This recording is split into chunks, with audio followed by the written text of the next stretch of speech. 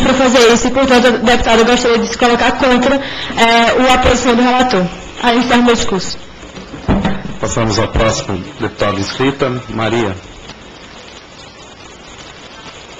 Mayra. Passamos então à próxima deputada inscrita, Mariana.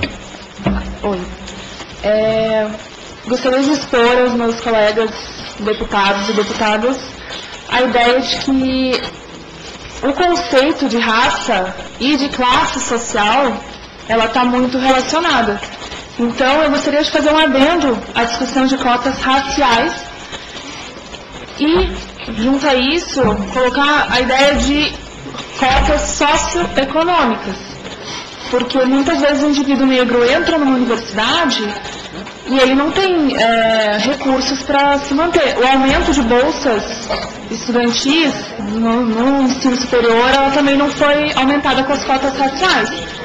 Então, acho que a questão econômica precisa ser levada em conta, e eu concordo com a deputada, minha colega Ana Sofia, na questão de ampliar esse conceito que, ao meu ver, ainda se encontra muito raso, que é o conceito de raça. É, deve-se abrir, deve abrir esse conceito para um maior entendimento e também é, concordância com os demais. Então, agradeço a palavra. Próximo deputado inscrito, deputado David. É, boa tarde. Boa tarde, eu é, saúdo os nobres deputados, excelentíssimos. Eu acompanho o relator porque, numa rápida pesquisa, eu concluí que, que há, pouco, alguns anos atrás, o índice de negro em universidades era de 3%, 3, 3% de todos os estudantes. Após a inserção das cotas, o, e o número crescia vagarosamente. Após a inserção das cotas, hoje já contamos com 9% nas universidades, e esse número cresce numa, numa proporção bem maior que, que crescia há algum tempo atrás. Então eu acho que é, não se trata de. Eu acho que um negro capacitado, formado, com um curso superior em uma, em uma instituição, ele será mais bem visado no mercado de trabalho. Por isso que eu, que eu vejo que as cotas seria uma, um meio de, de tornar é, negros e brancos capacitados é, do mesmo para concorrer no mercado de trabalho. Essa é a minha opinião. Presidente, eu posso utilizar um, um tempo do deputado? Deputado, você autoriza? Deputado, você tem que... Pode ser. É, eu só queria colocar dois pontos que a deputada Ana Sofia disse ali no discurso dela a respeito da, do desempenho dos negros dentro da universidade. Já foram realizadas várias pesquisas dentro de grandes universidades brasileiras, entre elas a USP e a Federal Paraná, de que o desempenho dos negros que, que entraram para o sistema de, de cotas não é inferior ao, ao, ao desempenho dos brancos, muito pelo contrário. Segundo, é, a deputada disse que por ele entrar com mais facilidade, ele provavelmente não vai estudar como os brancos dentro da própria universidade. Pelo menos foi isso que eu interpretei, posso estar errado. Mas... A deputada pede um pedido de resposta com relação à colocação do deputado? Eu não... A palavra está com o deputado. É, deixa eu só terminar, aí caso é, tenha algum tempo eu concedo. Quanto a isso, eu só me baseio nas pesquisas e acredito que não tem o menor fundamento, porque a diferença de pontos entre o, o ingressante negro e aquele que entrou branco é praticamente mínimo. Eu acredito que 10% da porcentagem do que ele acertou a mais vestibular não vai influenciar em nada o desempenho dele dentro da universidade. As pessoas que entram em primeiro lugar, 30 segundos para concluir, geralmente tem desempenho inferior àqueles que entraram por último. E por último, quanto ao direito comparado, eu acredito que a estrutura dos países que você mencionou são totalmente diferentes, não tem o mínimo cabimento de a gente tentar trazer, é, tentar tomar como referência, porque não deu certo na Índia, que tem uma estrutura totalmente diferente, regada pela, pela religião. Nosso Estado é totalmente laico, totalmente laico, entre aspas. E nos Estados Unidos, da mesma forma. Eu acredito que a gente tem que tentar, no nosso caso não deu certo, não deu certo. Mas no máximo eu acho que a gente tem que tentar com forma de auxiliar os negros nas universidades Federer. Só lembrando aos novos deputados que o apaz deve ser dirigido a quem está com a palavra. Se ele conceder, dentro do tempo dele, e não ao presidente. Passamos então ao próximo deputado inscrito, deputado Jonas. Boa tarde, cumprimento a todos os novos deputados. Tal qual é, o deputado Pedro, deputado João, uh, deputado Carlos, eu voto conforme relator e acho muito interessante levantar algumas questões, como eu, eu acredito muito no sistema de cotas, não só pela simples inclusão, porque nós rodamos aqui pelo Congresso esses dias, vimos muito poucos negros ocupando cargos, de, mesmo de parlamentares. E já houve diversas discussões referentes até capacitação dos nossos parlamentares. E referente ao que a deputada Ana Sofia disse, eu também voto de acordo com, com concordo com o deputado Pedro, no, no seguinte sentido. Se, a, se, o sistema tem que ser feito uma medida, acredito que essa medida deva ser paliativa. Isso tem que, em algum momento, acabar. Isso é uma medida que faça com que isso dê incentivo que essa diferença social e é, racial que existe, todos nós, na nossa sociedade, é enraigado, existe sim uma dívida histórica com o povo negro, porque muitas vezes nós não vemos, não temos a devida inserção desse, desse povo, não só por etnia, mas por dívida histórica, pela forma com que eles vieram, muitas vezes a sociedade de baixa classe social é negra, mas não é porque ele tem culpa de nascer negro ou dele nascer branco, é por todo um contexto histórico do que isso vive. Ninguém gosta de morar na favela, ninguém gosta de estudar em escola pública sem nenhuma base, eu concordo que é sim, é devido, tem que mudar todo o sistema. Mas enquanto esse to, todo o sistema não é alterado, é necessário que dê medidas paliativas para que algumas pessoas sejam vistas como tal, para que, é, que seja necessário pessoas entrarem e servir até às vezes de exemplo, porque isso falta, falta muitas vezes você vê tanto é que nós temos aqui, dentre várias pessoas, nós citamos simplesmente o Joaquim Barbosa. Quem mais vocês citam? Tem vários na história, mas não tanto quanto nós temos de pessoas que tiveram grandes oportunidades na história. Também defendo, defendo a necessidade de alterar todo o sistema.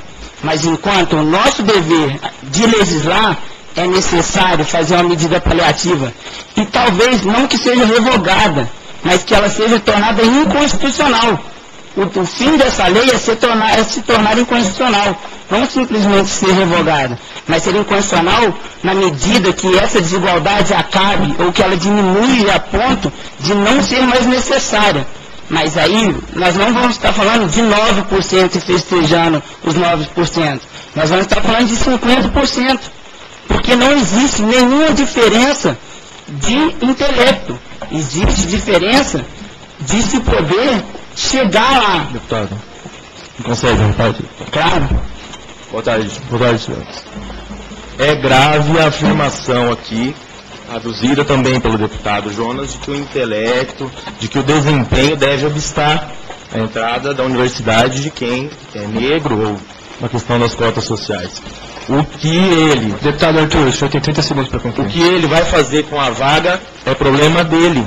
Nós temos que garantir o direito do ingresso. Quando um branco jubila a faculdade, ninguém contesta a vaga dele. Foi utilizado o ministro Joaquim como um intelecto, como um baluarte. Do. Isso não, não, não, não, não, não faz merecedor ou desmerecedor da vaga dele. Só isso que eu queria contar. Esse foi o meu posicionamento. Passa. Perfeito, senhor deputado. Passamos agora ao próximo deputado, deputado Lucas. Por favor. Boa tarde.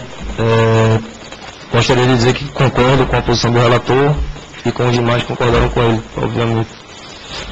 É, gostaria de trazer ao debate questões práticas, aplicações práticas por acreditar que elas trazem mais resultado, mais respostas, do que deliberações históricas e teóricas, que, como o próprio nome diz, são apenas teorias.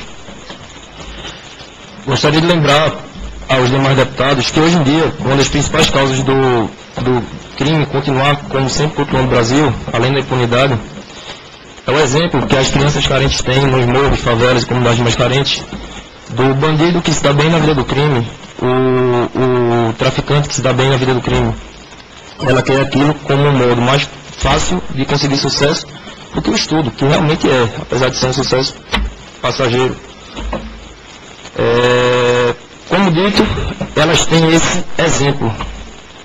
E como vemos que nas comunidades carentes, 90% ou mais das pessoas são negras, por que não dar a chance de uma dessas pessoas negras entrarem na universidade para também servir como exemplo para essas crianças?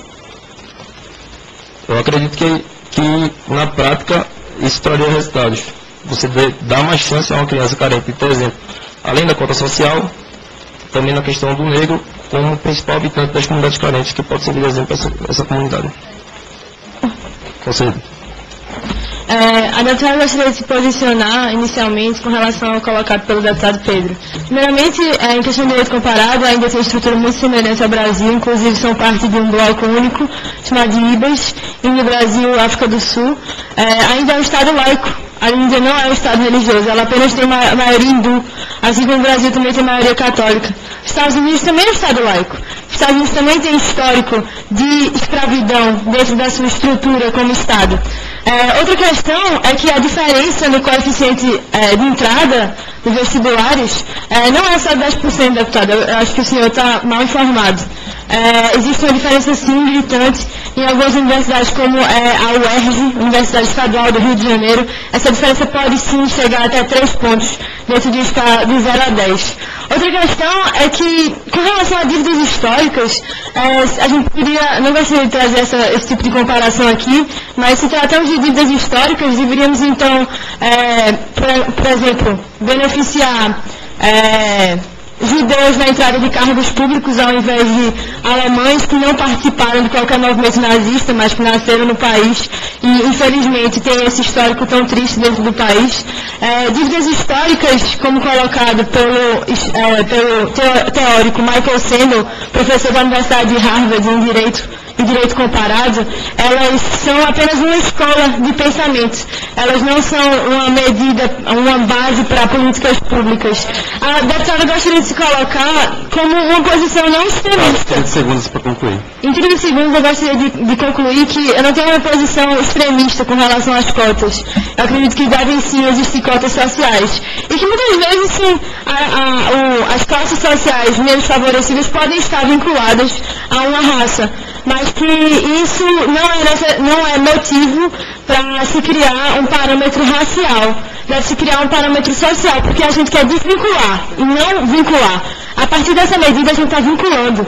A gente tem que passar a mudar a ideologia da sociedade, mudar o posicionamento para desvincular a, a noção de que negros têm que ser hum, pobres. Negros não, não têm que ser pobres, eles têm a, a, o mérito igual de brancos, igual de índios. Nós somos um, um só país. Nós não somos um país segregado. E por isso a gente não deputado, pode colocar. Tempo encerrado. Tempo encerrado, deputado. Pode concluir, pode concluir. Pode Se o tempo é encerrado, a, a deputada respeita o procedimento. Tudo bem. Passamos à próxima palavra, deputado inscrito. Deputada Maíra. Boa tarde, deputados. Boa tarde, Vossa Excelência. Eu concordo com o posicionamento da deputada Sofia e do deputado João, que nós temos que seguir o que diz a nossa Constituição, que todos são iguais perante a lei, o deputado David já tinha citado, que há diferença entre mulheres, mas em quesito de educação, o que eu acho que deve ser feito é sim uma diferença, ah, não em cotas, ah, para cotas raciais, não há diferença de cor, raça ou sexo. Ah, assim, a gente acaba excluindo cada vez mais os negros da sociedade. Então, o que, o que deve ser feito é o seu investimento, o executivo deve investir melhor na educação pública do país. Isso que deve ser feito.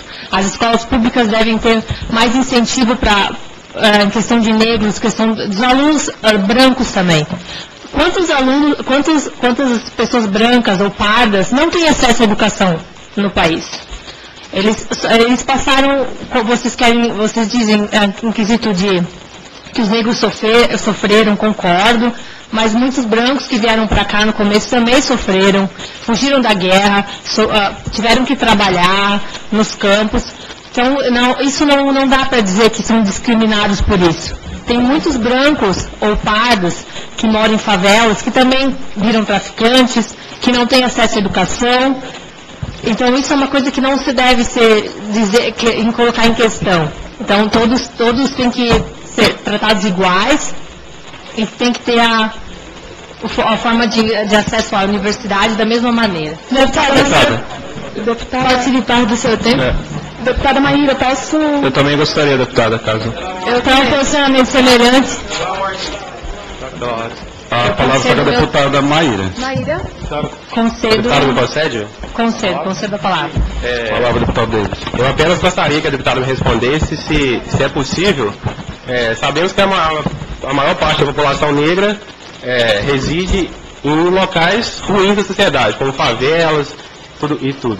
É, a deputada é, acha que é possível uma pessoa que, que estuda em escolas tão precárias concorra igualmente com, com pessoas que frequentam escolas, mesmo sendo públicas, mas em situações melhores? Não que a escola pública seja boa, geral, mas as, as- as- a gente sabe que as que citou em, em locais como favelas, em bairros extremamente ruins, é, é possível que concorram em par de igualdade? Deputado, quantas pessoas, quantos, quantos brancos nós podemos encontrar nesses mesmos lugares? Não são só negros que estão lá. Tem brancos que estão na mesma condição, que tem que estudar. A gente pode ver muitos depoimentos de muitos brancos que estudaram em lixões, que acharam livros em lixões. Negros, temos no nosso estado um, um poeta que foi um destaque, Cruz e Souza, que era negro. Teve da mesma maneira que estudar, teve que correr atrás. Então não, não tem diferença. E a- Eu sei que a educação do país é precária. O que falta é investimento na educação, sim. É o que tem que ter nas escolas públicas. É o que Deputada falta. Maíra, a senhora me Conceda a palavra. concede a palavra. Eu só gostaria de... 30 de- segundos para concluir. Exatamente.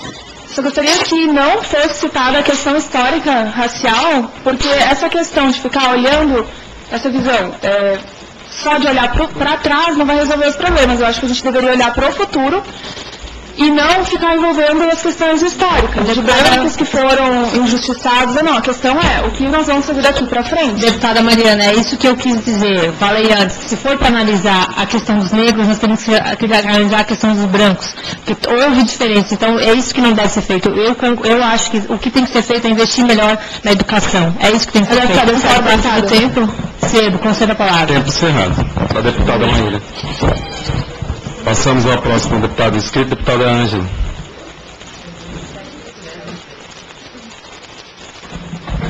Boa tarde, nobres deputados e deputadas. Estava até agora aqui pensando, complicado, né, se posicionar. Em primeiro lugar, eu acho sim que a gente deve olhar para o passado, em primeiro lugar, porque para corrigir o futuro a gente precisa olhar para o passado. Há necessidade, com certeza. E é complicado falar em Joaquim Barbosa, porque, veja, a gente começa a olhar muito pro, lá para cima, né, pro, fica olhando para o mundo das ideias, para algo muito grande, é, fica muito. é, eu tenho a impressão que fica alguém que a gente não pode tocar. Talvez eu prefira olhar para o meu colega que hoje senta do meu lado, eu prefiro olhar e. Eu, melhor, eu prefiro lembrar talvez da minha infância e olhar para hoje, talvez, dos colegas que sentam do meu lado na minha, na minha sala de aula. E eu tento esclarecer um pouco, pa- parando para pensar um pouco, eu talvez tento pensar quem estudava comigo lá atrás e quem estuda comigo hoje. E aí eu tento pensar um pouco em cota racial. E eu começo a pensar que que mudou de lá para cá, talvez. E nisso que eu penso, eu olho para o meu colega. Eu não penso tanto em citação, em números, em países, eu penso o que mudou hoje. E hoje o que eu vejo é que alguma coisa mudou. Eu não concordo, eu acho que assim, o, inte- o intelectual da pessoa é, é igual. Eu acho que tanto os negros quanto os brancos, eles são iguais. Eu acho que começa aí a, o, o racismo, não. A diferenciação não deveria acontecer baseado na cor das pessoas. Isso é fato. E eu acho, com todo respeito a quem produz a lei, mas eu acho que tanto isso quanto, por exemplo, Bolsa Escola é feito de maneira muito errada no país. Eu acho que muitas leis são feitas, elas nesse país, elas não têm começo, e fim. Então, por exemplo, eu acho que as cotas, elas deveriam existir, mas elas deveriam ser, deveriam ter começo, meio e fim. Então, é para corrigir um fato histórico, mas elas têm que ter um período para corrigir alguma coisa que foi, que aconteceu errado. Certo? Elas têm que ter um final. Isso não acontece no nosso país. Ela pode corrigir, mas ela, ela não tem um final. É, nada acontece nesse país, na verdade, nada é planejado nesse país. Acho que até por isso que nada funciona. Deputado. É, deputado, só um pouquinho, com licença, com licença. Então, não existe isso, correto? Essa é a minha opinião. Deputado. E eu acredito o seguinte, só um instantinho. Posso concluir? E eu, é, no entanto, eu, ah, eu, eu, o meu voto é muito simples. É pelo simples fato de ter o prazer hoje de poder estudar com pessoas que têm, é, com colegas que são diferentes de mim, né, na concepção da cor, que pessoas acham que é, isso é algo, para algumas pessoas, né, ainda como Deputado, 30 segundos para concluir. Tá? como o deputado Feliciano, eu acho absurdo isso, mas para ele isso é uma coisa que é, é desagradável, né? Para mim isso é formidável, né? Você poder estar com uma pessoa que, a, a, a, digamos assim, ao, ao olho dele é uma pessoa diferente, é uma pessoa que talvez não, não me agrade. Pode, pode conceder a palavra? Não. Sempre encerrado. Próximo deputado inscrito, deputada Poliana. Boa tarde. É, eu também concordo com, com os deputados João, Ana Sofia e a deputada Maíra, que para mim esse projeto é, é- é extremamente preconceituoso. É, eu acho que ele vem para arraigar ainda mais esse preconceito é, pré-existente com os negros e com os índios. Como eles disseram muito bem, é, trata-se de uma questão social e não de uma questão racial. Uma pessoa negra, você não pode afirmar que uma pessoa negra tem menos capacidade que uma pessoa branca. E quan- quantos, quantas pessoas brancas também não tiveram oportunidade de ter um bom estudo, é, de estudar em uma escola boa, é, ou sequer de, de, de entrar em uma escola ou de uma universidade. Então deveria ser trabalhado esta questão social e não racial. A deputada cede parte do seu tempo? Só um minutinho, deputada. É, como, como o Pedro, o deputado Pedro disse, que o rendimento do- dos negros dentro da- das universidades e nos vestibulares, é, de acordo com pesquisas, ele não é inferior ao rendimento dos, do- dos brancos. Então, justamente por esse motivo, não há necessidade de haver cotas para negros. Há necessidade de haver cotas para- pessoas que não têm oportunidade de ingressar nessas universidades. Conceda a palavra. Muito obrigada, deputada. A deputada brilhantemente colocou questões imprescindíveis que deveriam ser colocadas aqui. A primeira, eu vou, eu vou ser emocional também. Eu, eu trago de países, números e fatos, porque emoção é importante, mas emoção não resolve problema. E a gente está aqui para resolver um problema da sociedade. Mas eu vou ser emocional e criar um cenário. Digamos que eu é, passo de uma família humilde, branca. E eu gostaria de entrar na universidade superior. Eu estudei minha vida inteira na escola pública, que não me ofereceu um um- uma educação de qualidade. É, mesmo assim, eu consegui, mantive minhas notas, repeti um ano, mas consegui, concluí o terceiro ano. E agora vou fazer meu vestibular, prestar meu vestibular. Depois que eu presto meu vestibular, eu percebo que eu tirei sete e meio na prova. E outra pessoa, que é igual a mim, um colega de classe que estudou no ensino público a nível médio e a nível fundamental como eu, na mesma turma que eu, ela tirou seis. Eu tirando sete e meio ela tirando seis, ela passou e eu não, por conta da raça dela. Por quê? Por, por efeito da lei que nós estamos discutindo nesse momento. Os senhores acham que a gente não está criando uma nova discrepância histórica? Os senhores não acham que a gente está reiniciando uma questão histórica acabada no passado. Os senhores não acham que isso também pode gerar uma revolta nesse estudante de escola pública que teve as mesmas condições para estudar do que os negros e que não passou por, essa, por efeito dessa lei que nós estamos aprovando? Então, eu, eu entendo que essa questão, é cenário... Segunda para concluir. Quantos, quantos segundos, deputado? 30. Obrigada, deputado. Então eu entendo que essa, são questões, é, isso é um cenário que eu estou colocando aqui, mas eu gostaria que os senhores deputados pensassem um pouco nisso. E pensassem sobre o que a deputada colocou, com questão de você estar, literalmente, criando uma desigualdade e tratando diferente pessoas iguais, que têm a mesma estrutura humana, mas que têm a cor da pele diferenciada. O projeto fala social também. Senhor presidente, que a palavra está com a deputada. É um conto de fadas, né? A gente gostaria de pedir silêncio. Senhor A presidente. deputada poderia ser restituída parte do tempo que as pessoas estavam falando enquanto o deputado falava? Senhor presidente, será restituído. Senhor presidente, me concede a palavra, a tua parte, então, a, a palavra é dela. Precisava fazer uma colocação para o senhor presidente. Presidente, nós temos aqui uma dúvida. Está sendo tratada da cota racial ou cota social? Tá racial. O projeto fala das duas, senhor presidente. projeto de lei está sendo Senhor presidente, dentro. É o... Ô, senhor presidente, será que nós não podíamos instituir cota para partes? Está virando monólogo isso aqui? Conclu... É para concluir, a deputada tem 30 segundos. Muito obrigada. É, então, 30 segundos, presidente? Que absurdo. 30 segundos? No máximo 5 segundos, 10 segundos para concluir. Acabar, obrigada, senhor, senhor presidente. A deputada não quer dispor do seu tempo. Muito obrigado pela sua generosidade. Presidente, não é possível nova inscrição? Devido a... Vocês podem pedir a parte. Senhor presidente, só por, Se for concedido dentro do tempo, senhor presidente, só por questão de ordem, eu queria pedir aos colegas deputados que quando você pedir a palavra aos outros colegas, esperassem termina, o, o deputado que está com a palavra terminar de falar, até para questão de organização e... pela ordem, excelência, pela ordem. Passamos ao próximo deputada. Passamos à próxima deputada inscrita, deputada Alice. Boa tarde a todos. É, eu queria dizer que meu posicionamento, em parte, está de acordo com o posicionamento da deputada efervescente Sofia. E, e eu sou a favor das cotas sociais e não das cotas raciais. Por quê? Porque o problema não é questão de cor, se você é branco, negro, pardo ou não. O problema está na base, está no, no nível de educação fornecido pelo governo, pelo Estado, certo? Então eu acho que o nosso problema, assim, é muito mais sério do que, do que isso e que deve ser reparado. De que forma?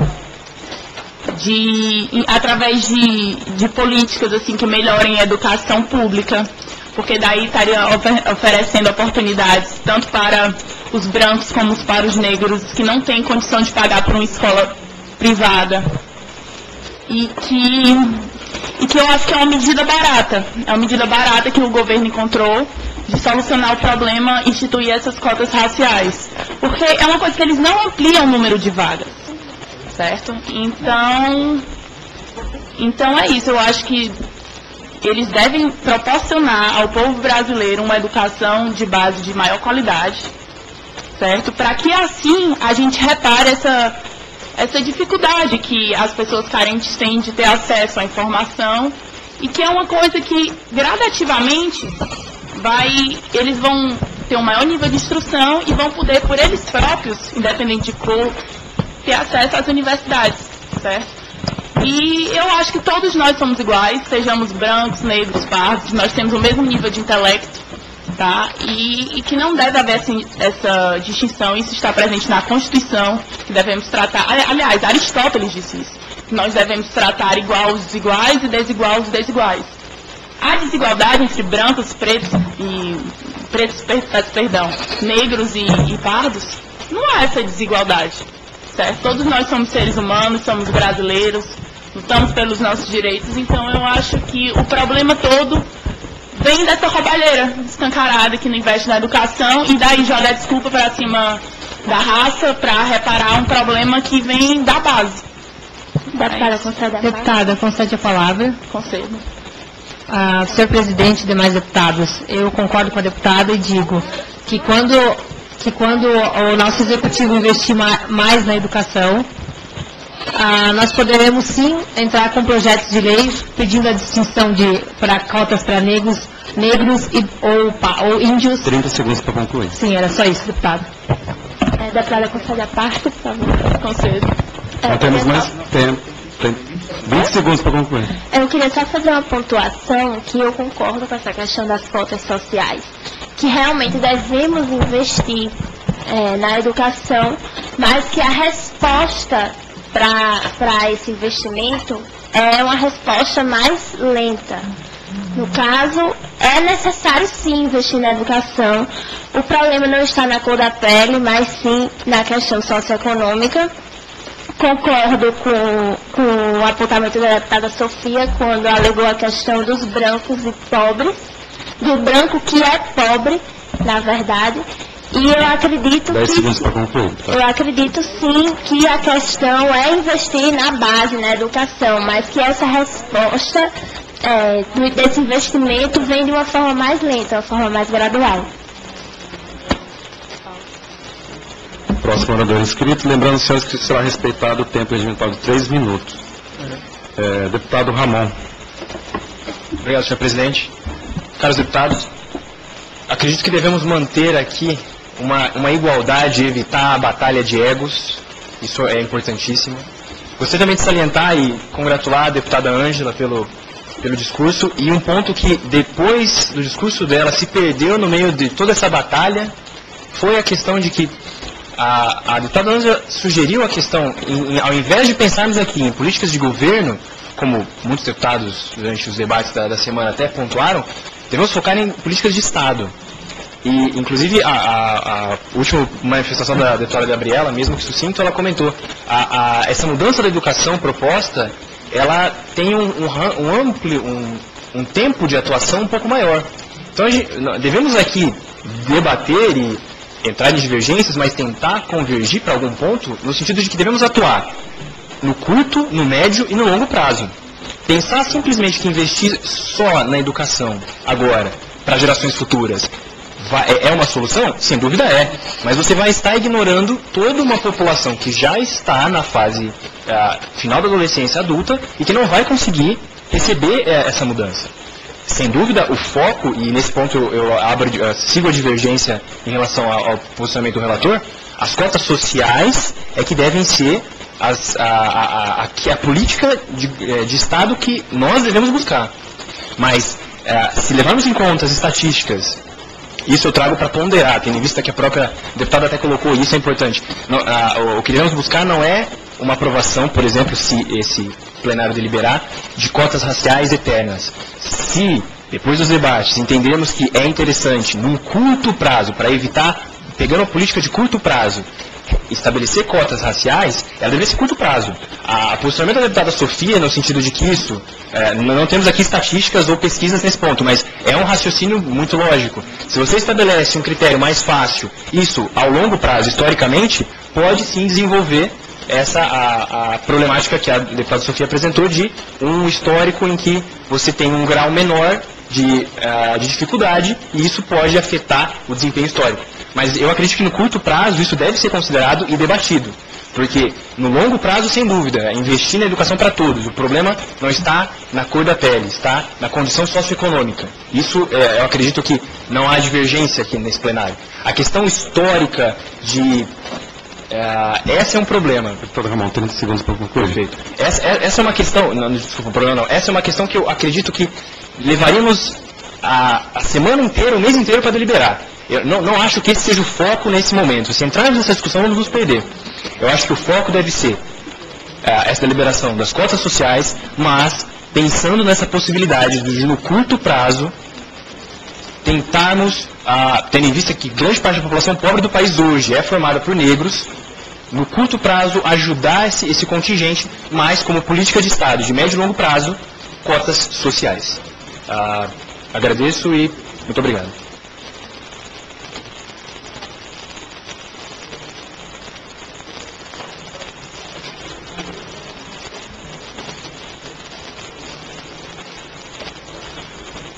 Antes do próximo deputado inscrito, gostaria de lembrar aos senhores que o que está em votação é o projeto de lei das páginas 7 e 8, com voto do relator, e o projeto substitutivo do relator.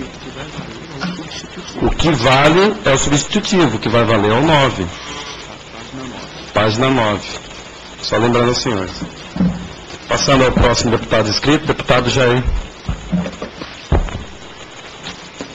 Senhor presidente, é, colegas deputados, eu penso que a reflexão tem que ser bem mais ampla e tem que se contemplar e ponderar muitas coisas. Penso que com esse projeto de lei quer se fazer justiça a um sofrimento que a raça negra foi imposta, um resgate histórico de um fazer justiça. Mas como fica os filhos de italianos, alemães que desbravaram o sul do Brasil, que tiveram que aprender a viver com o mínimo, quiçá se tinha o mínimo, pois eram desbravadores. E com isso, passando o tempo, se estabelecendo, saíram do sul e foram abrir fronteiras em outros, eh, outras fronteiras agrícolas do Brasil, Mato Grosso, Bahia e etc. Por outro lado, dar possibilidade aos negros ingressarem na faculdade é uma possibilidade de dar oportunidade dos negros mostrar sua capacidade. Quando o deputado Caio falou do vir a ser, é o tempo quem vai dizer pelo desempenho na faculdade e depois no mercado de trabalho. Há que se avaliar muito bem o desempenho deles durante a faculdade e depois da faculdade. Talvez seja, seja mais ah, importante é, fazer chegar a esse ponto de se habilitar para concorrer com, a, com os demais em igualdade de condição. Porque o que acontece? Nós queremos que os negros ingressem na faculdade através de cota, mas eles não estão chegando ao final do terceiro, do, do, do, da, da, conclusão do segundo grau. Eles têm que chegar a concluir o segundo grau em igualdade de condições. Nós estamos querendo colocar gente no pódio que não está participando da competição. Então, a educação básica, entre outras coisas, tem que existir, e muito bem.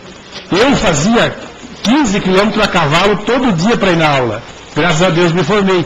Hoje, o município, através de, do, do, de programas de governo, pega os alunos na frente da casa e devolve na frente da casa. Existe a nucleação e está havendo mais possibilidade. Então eu penso, estamos favorecendo os negros que estão em, em desigualdade. Deputado, tem um segundo para concluir. Mas também tem o problema das feias, das gordas, dos velhos. Como que fica esse povo? Vamos arrumar cotas para esses também? São discriminados, são discriminados. E, então, eu, eu penso que não só a faculdade, mas o ensino técnico de qualidade insere muita gente boa e põe gente no mercado de trabalho. E, e que se a gente é, conseguir fazer uma educação básica de qualidade, dispensaria essas cotas. Obrigado. Passamos ao próximo deputado inscrito, deputada Monique. Boa tarde, excelência. Boa tarde, colegas, companheiros. É, eu venho respaldar o projeto de lei e acompanhar o voto do relator diante da, dos índices apresentados dos direitos humanos e quanto à ação afirmativa e a natureza jurídica da norma, da eficácia horizontal dos direitos fundamentais, eu não, eu não vejo ela como inconstitucional, eu não vejo ela como é, uma segregação racial. É, eu acho que ela não reduz a inteligência dos negros que prestam vestibulares. E é, não é uma questão de inteligência, é uma questão de dar paridade de armas a pessoas que precisam, diante dos índices de aceitabilidade no mercado de trabalho, nas universidades e no convívio social, que é o mais importante também. Então, discordando do posicionamento do ilustre deputado Jair, é, eu não, não concordo com o senhor, visto que ah, o sofrimento dos negros foram completamente diferentes do sofrimento dos imigrantes italianos e alemães que migraram para o país realmente com propostas ilusórias por políticas públicas é, racistas na época, porque se não me falte a memória, quando eu estudei História e Geografia no, no colégio, o- foi uma política para, depois da, da abolição dos escravos, é, quando foi implementada, ela visava embranquecer o país e trazer nova mão de obra, já que os escravos não queriam mais trabalhar da forma que eram impostas. Então, os imigrantes vieram para o país para trabalhar, entendeu? Recebiam tão bom que não pode ser tão bem remunerado, posso dizer assim, que eu concordo que a forma que foi implementada também não foi correta, mas comparar a questão dos negros que sofrem até hoje, pelos índices que tem aqui no relatório, aqui nas páginas 20, deixa eu ver as páginas aqui rapidinho, começa na página 15, entendeu? Então, é nesse posicionamento que eu voto, é, mudei meu posicionamento durante anos, perdi para as cotas e não morri, estou aqui. É, quanto à Universidade Federal, na minha cidade, Maceió, Alagoas, eu não vejo muitos negros se formarem. Fui até para uma formatura sexta, é, sábado passado, antes de vir para cá, e, sinceramente, não vi ninguém. Então, assim, na minha, na minha cidade, quem vai para a Universidade Federal, certo, é quem estuda em colégio particular, e aí voltando para as cotas sociais, e quem estuda no melhor colégio particular, porque fora isso não entra não, né? não passa nem na porta, como eu que não passei. Se alguém quiser minha palavra, toda. Deputado, é, concede a palavra? O resto que... 20 segundos para concluir. Ah, não, é, só queria para, parabenizar a deputada pela exposição. Eu só acho que quando a gente. Só queria só falar do ponto do, do, do tempo da lei, da vigência. Eu acho que essa lei poderia ser muito bem revogada caso, caso o plenário percebesse que não tivesse mais, mais a, a necessidade de, de- dessa vigência dessa lei. Então não precisa especificamente declarar um tempo na lei. Por exemplo, ah, 10, 15 anos. Poderia, a gente encerrado, perceber, a gente revogar a lei da mesma forma. Passamos à próxima, deputado inscrito. Deputado Alaes. Deputado, quero saudar a todos e dizer que quando tratamos de uma, de uma questão é, tão polêmica como essa, é, temos que partir com, com um raciocínio muito firme. Até porque é uma questão que beneficia os negros e nem os próprios negros são de acordo. Entre muitos negros há pensamentos divergentes. Os próprios beneficiados são divergentes quanto ao assunto. Mas quando tratamos de uma questão que é uma questão de ceder, que é uma questão de você dar uma parte do que é seu e entregar a outro, é uma questão que mexe muito com o sentimento da pessoa. Muitos não têm esta característica de generosidade. E é o que falta quando tratamos de cotas raciais. É olhar para o outro como se o outro fosse você. Então, essa é uma questão de análise, certo? De sentimento. E não é ser racional, não. É ser emocional mesmo. É tratar com sentimento a questão das cotas. É você mostrar que o outro também merece e ele tem oportunidade. É você incentivá-lo e fazer ele ser diferente e ele mudar a história. A cara do Brasil não é a cara de uma elite branca, não é. A cara do Brasil é dar oportunidade aos negros e fazer com que eles, eles, mostrem que são capazes. Então, fica aqui minhas palavras e sou a favor, voto com o relator e vamos comemorar as cotas raciais e as cotas sociais. Obrigado. Parabéns, Peço o tempo do deputado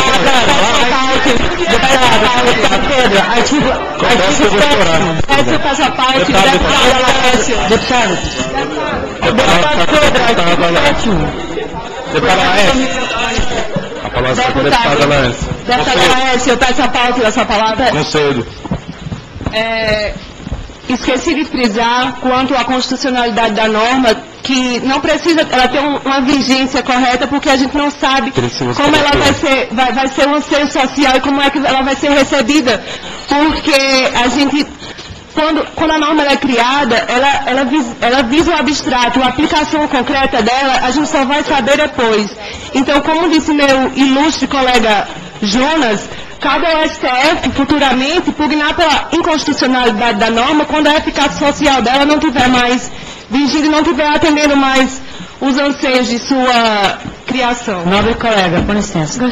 Desculpem, me desculpem, eu só queria corrigir um erro meu mesmo.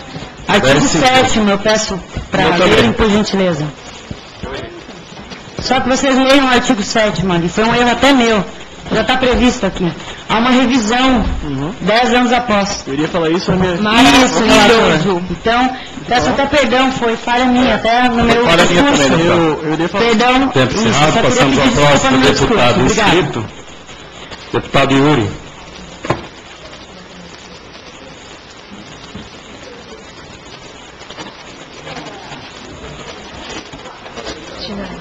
Bom, boa tarde a todos. Eu queria iniciar dizendo o seguinte: algumas vezes aqui a gente está reduzindo a discussão e considerando como se eh, o homem fosse. A gente está reduzindo a questão a, a um, a um viés puramente biológico. O homem não é só um ser biológico, é um ser biopsicossocial. Se a gente puramente virar e dizer que negros, brancos, índios, pardos e etc. São, todos temos o mesmo cérebro, a mesma capacidade de pensar, isso todo mundo sabe. Isso é de- não é de agora já. Só que as pessoas têm oportunidades diferentes. Todo mundo também sabe aqui que o mecanismo da gente conseguir ascender socialmente é através da educação. Então a gente precisa de educação comum a todos. Isso não acontece hoje. No material que todos nós recebemos, que todos os senhores provavelmente leram, o que a gente viu ali é que na- até na anestesia para um parto normal, os negros, as mulheres negras recebem quase a maioria da, não, quer dizer, uma grande parte do- do- das pessoas que não recebem anestesia é negra. É quase o dobro das mu- mulheres brancas que não recebem anestesia. Então, poxa, se até na área pública isso acontece, como é que fica essa questão de ah, somos todos iguais? Somos mesmo?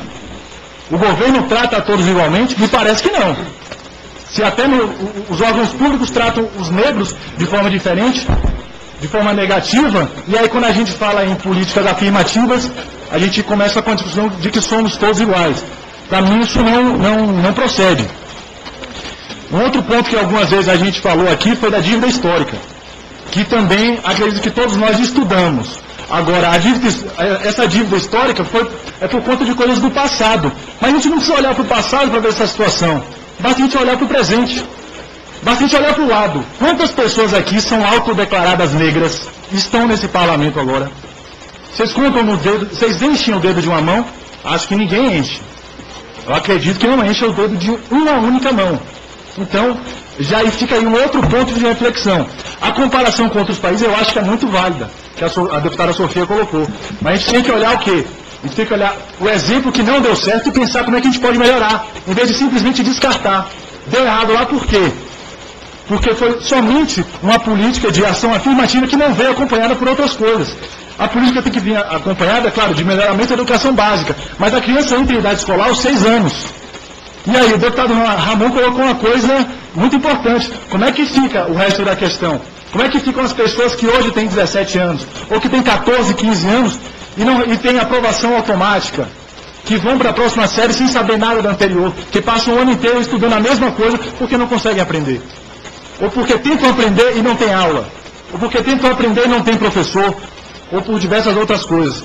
Eu venho de Salvador, em Salvador, e Salvador é a cidade com a maior concentração negra da- fora da África. E o percentual de negros na universidade pública é baixíssimo. Não, é mais, não era até pouco tempo atrás. Com, as- com a política que já está vigente, isso mudou. Agora não passava muito dos 3%. 30 segundos para concluir, deputado. Então, é, é, soa- dói de vez em quando a gente reduzir um- um- uma coisa tão importante a, a- a- a di- a discursos muitas vezes pequenos. É, e a gente está falando muito de cotas raciais, cotas, cotas sociais, como se a lei estivesse trazendo uma coisa diferente, não são coisas, estivesse colocando uma coisa só, mas a lei está trazendo duas coisas. Está trazendo o viés social e racial. né? Tem o artigo primeiro, mas tem o terceiro também. Basta cada um dar uma olhadinha aqui. Então, é, em resumo, é isso. Tempo encerrado. É, próxima deputada inscrita e última, né, deputada Érica.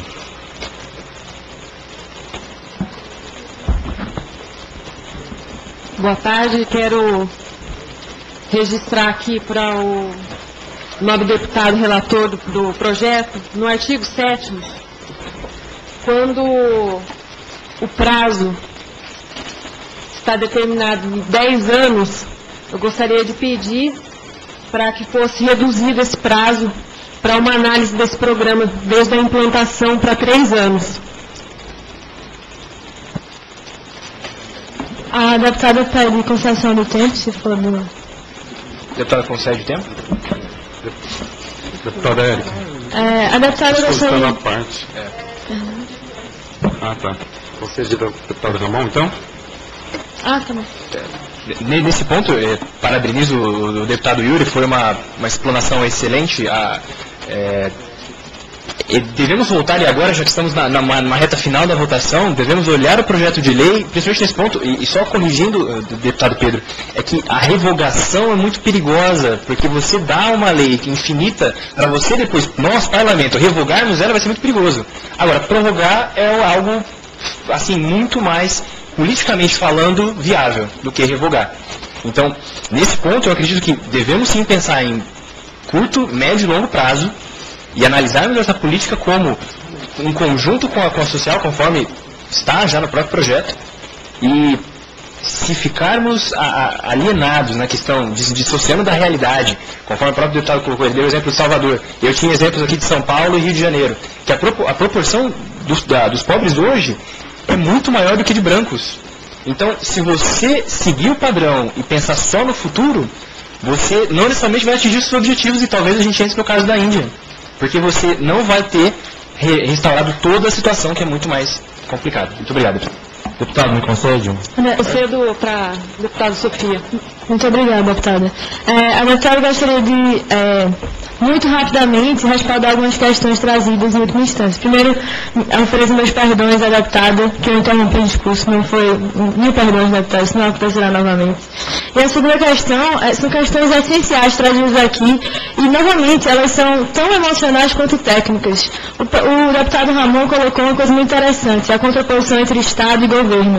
É, eu também acho, o governo faz políticas de quatro anos, porque é o tamanho do Deputado, 30 mandato. É, mas o- a duração de uma lei não quer dizer que ela é uma política de Estado ou uma política de governo.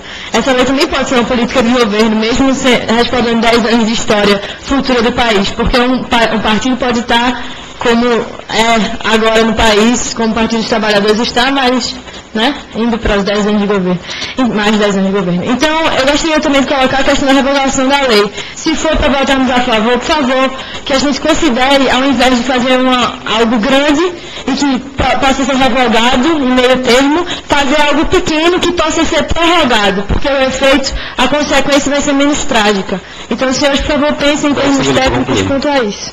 Eu concluo, deputado. Muito obrigada. Encerrada a discussão, passo a palavra ao relator para suas considerações finais, o qual terá três minutos. Bom, eu vou ser bem breve quanto às minhas considerações finais. Só queria dar ênfase a dois artigos do, do substitutivo, para evitar algumas dúvidas.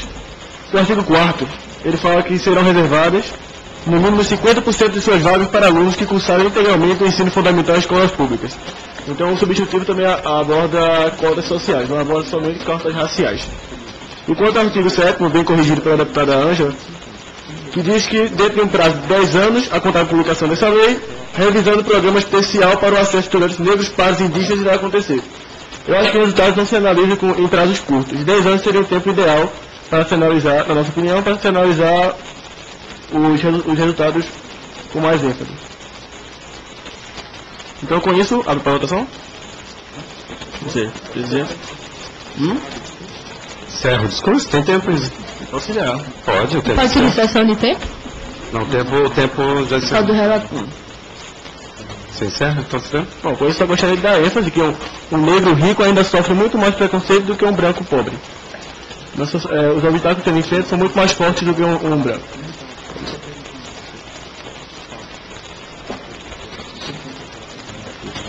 Só explicando aos deputados, então, que, nós vamos perguntar agora, passaremos as vota- a votação. E nós vamos fazer a pergunta. Quem concordar com o relator vai permanecer do jeito que está. Quem discordar vai erguer a mão do, rela- do relatório substitutivo da página 9. Esse é o relatório que está em votação. Então, o pessoal que permaneceu do jeito que está, tempo para ler, porque ficou meio confuso se era o anterior ou o novo. foi distribuído antes o relatório. Perfeito. É o substitutivo da página 9. O substitutivo, página 9. Antes, no meio, eu já tinha dito que era o da página 9, que está em votação.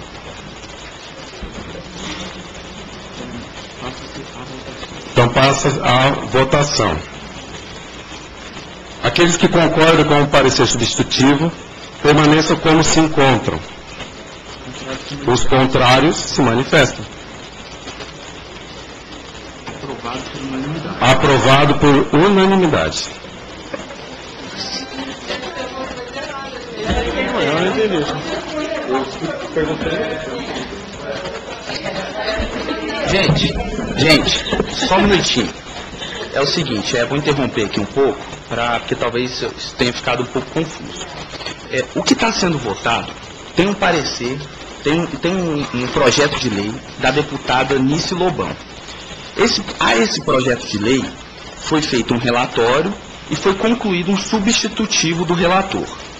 Quem permanecer como se encontra, quem não se manifestar, quer dizer o quê? Eu concordo com esse substitutivo do relator.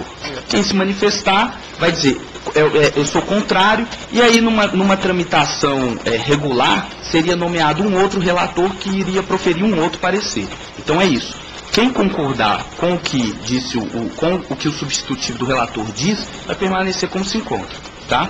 Então, só assim para esclarecer, vamos repetir a votação. Eu, eu tenho uma pergunta com relação à presidência. É, com relação à votação nessa questão que você colocou, que quem discorda com o, dispo- o disposto no artigo na íntegra, é, qual é a possibilidade de trazer um novo relatório? É ma- maioria mais um? é, é o seguinte, se o, o relatório, é, na, na, na situação em que o relator tem rejeitado o seu parecer, tá? É, o presidente vai designar dentre aqueles que ganharam, só que isso assim, hoje, hoje não vai acontecer isso aqui, mas assim, vai designar entre aqueles que ganharam um novo relatório, um novo relator. Esse novo relator vai chegar com outro relatório e esse outro relatório vai ser colocado em votação. Entendeu? Porque você pode. Não, não. Isso, é, pode acontecer, às vezes é, é, o, outro já está com o relatório pronto, entendeu? O, o outro parlamentar já está pronto, é, às vezes ele já está articulando para derrubar aquele parecer e já está com o relatório pronto, tá bom? Então, assim, acontece sim. Mas aqui, se ou a gente vai aprovar o dele ou vai rejeitar, porque não vai dar tempo de formular um outro parecer, tá bom?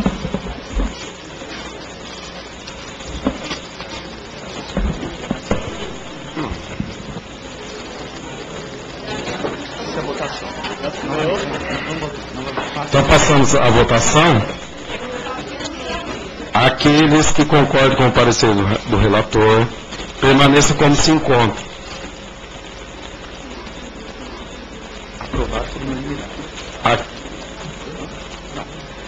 Aqueles que não concordam, se manifestem. Sim, aí a mão.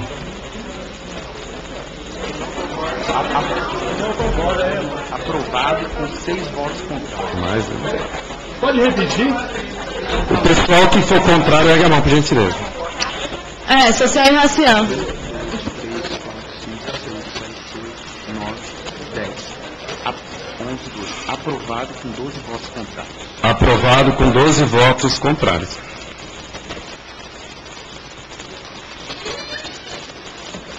Passa-se a próxima matéria. Projeto de lei da Comissão Especial de Reforma Política que dispõe sobre o sistema eleitoral para as eleições proporcionais e sobre o fi- financiamento público exclusivo das campanhas eleitorais, alterando a Lei 4.737 de 15 de julho de 1965, o Código Eleitoral, a Lei 9.096, 19 de setembro de 1995, que é a Lei dos Pol- Políticos, e a Lei 9.504, de 30 de setembro de 1997, que é a Lei das Eleições, e sobre a forma de subscrição do- de eleitores a preposições legislativas da iniciativa popular, alterando a Lei nº 9.709, de de 18 de novembro de 1998. Relatora, deputada Érica Passarelli, parecer pela aprovação. Está com a palavra a deputada Érica Passarello para proferir o seu voto. Boa tarde a todos. Quero saudar os nomes pares presentes aqui nessa sessão. Vamos passar para o relatório. Por ato da presidência da Câmara dos Deputados, de 8 de fevereiro de 2011, foi criada a comissão especial destinada a efetuar estudo e apresentar propostas em relação à reforma política. Composta de 40 membros titulares e de igual número de suplentes, mais um titular e um suplente, atendendo ao rodízio entre as bancadas não contempladas, designados de acordo com o artigo 34, inciso 2 parágrafos 1 e 2 do Regimento Interno.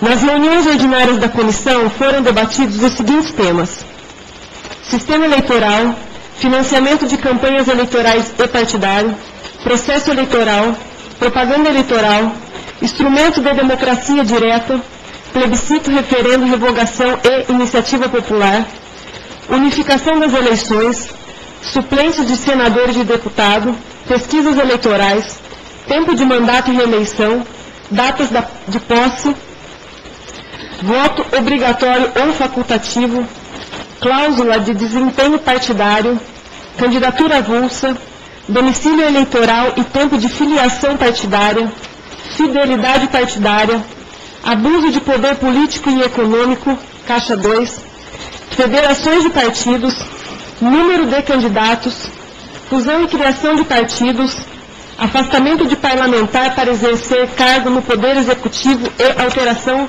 da lei dos partidos políticos. Gostaria de registrar a importância do projeto no que tange ao financiamento das campanhas. Lembrando que a aprovação desse projeto, ela irá gerar, em primeiro lugar, eu gostaria de pontuar agora, a acessibilidade de todo cidadão para a participação do processo eleitoral. Atualmente nós notamos o gasto expressivo em cada campanha eleitoral. E esse gasto, ele vem a participação popular no processo eletivo. O segundo ponto que eu gostaria de registrar aqui a importância da aprovação desse projeto é a redução drástica dos custos. Nós podemos notar, e eu trouxe como exemplo aqui só para os senhores, os deputados estarem analisando, dentro da pesquisa que foi feita pelo TSE nas últimas campanhas, no ano de 2010, nós tivemos um gasto muito alto para a eleição, tanto de presidente, senador e deputado federal. Só para deputado federal, 926 milhões foram registrados no site do TSE. Esse projeto ele vem trabalhar com um teto limite de gastos, por isso a redução drástica ocorreria. O terceiro ponto que eu gostaria de frisar é o aumento da transparência nos gastos de campanha. Hoje nós temos vários órgãos competentes para auxílio na fiscalização do TSE. E esses órgãos, eles estariam atuantemente trabalhando em conjunto para exercer essa fiscalização e a transparência desses gastos. O quarto ponto que eu gostaria de pontuar também é a independência da campanha. Nós sabemos que uma prática corrente que vem ocorrendo no nosso país é o financiamento de grandes campanhas com recursos de grandes empresários. Dentro desses empresários nós temos empreiteiras. E nesse processo, com o financiamento com os recursos públicos, nós mesmos nos podemos nos colocar dentro dessa situação que não ficaremos mais reféns de ter que futuramente ouvir bater na nossa porta grandes empresários que um dia nos ajudaram com segundas intenções. Então eu gostaria de registrar aqui a importância do financiamento da campanha também, com recurso público, e já lembrar também que hoje já existe o fundo partidário. Então cada partido político já recebe, de alguma forma, recurso público. Por isso que essa lei ela só vem para regulamentar. Nobre relatora, 30 segundos para concluir. Por isso que essa lei ela só vem para regulamentar todo o processo. Então eu peço que vocês estejam votando a favor desse projeto para que nós possamos estar regulamentando ele quanto antes. Obrigado, presidente.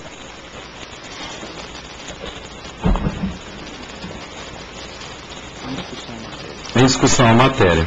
Passamos aos deputados inscritos. Passa a palavra ao nobre deputado Jair. Eu sou vou com a, a relatora, mas há que se ressaltar hoje que em todas as esferas, quando se trata de eleições, de eleições, fica cada vez mais difícil o candidato que não for muito abastado conseguir ter êxito no pleito. Eu vejo pelo, pelos municípios eh, que circundam onde eu moro, na minha região, que nem para vereador hoje você consegue mais se eleger, mesmo com um projeto bom, se você não for eh, bem financiado ou não tiver uma estratégia para aplicar bem o seu dinheiro, para fazer esse dinheiro se transformar em votos. Em outras palavras, se compra e se compra muito. Então não, não, se vota num projeto, não se vota num partido, não se vota numa pessoa, se vota naquele que te compensa mais, financeiramente. E a realidade, eu penso que da grande maioria de todos os municípios aí a, da onde a gente é originário. Então é lamentável, porque se, se a, a, política, por não ter uma, uma, uma fiscalização eficiente, uma, uma, uma uma decência na utilização do dinheiro, ela vira uma promiscuidade. Mas eu vou com a relatora que, que deve ser votado a favor e deve ser urgente que se regulamente isso. Só lembrando aos deputados que todos podem se inscrever é, para esse novo, a lista, há uma nova lista para esse novo projeto. Passamos ao próximo deputado inscrito, é, deputado Pedro.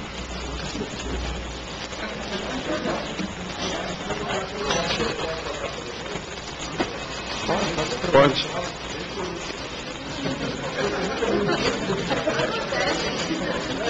Passamos ao próximo deputado inscrito, deputado Lucas.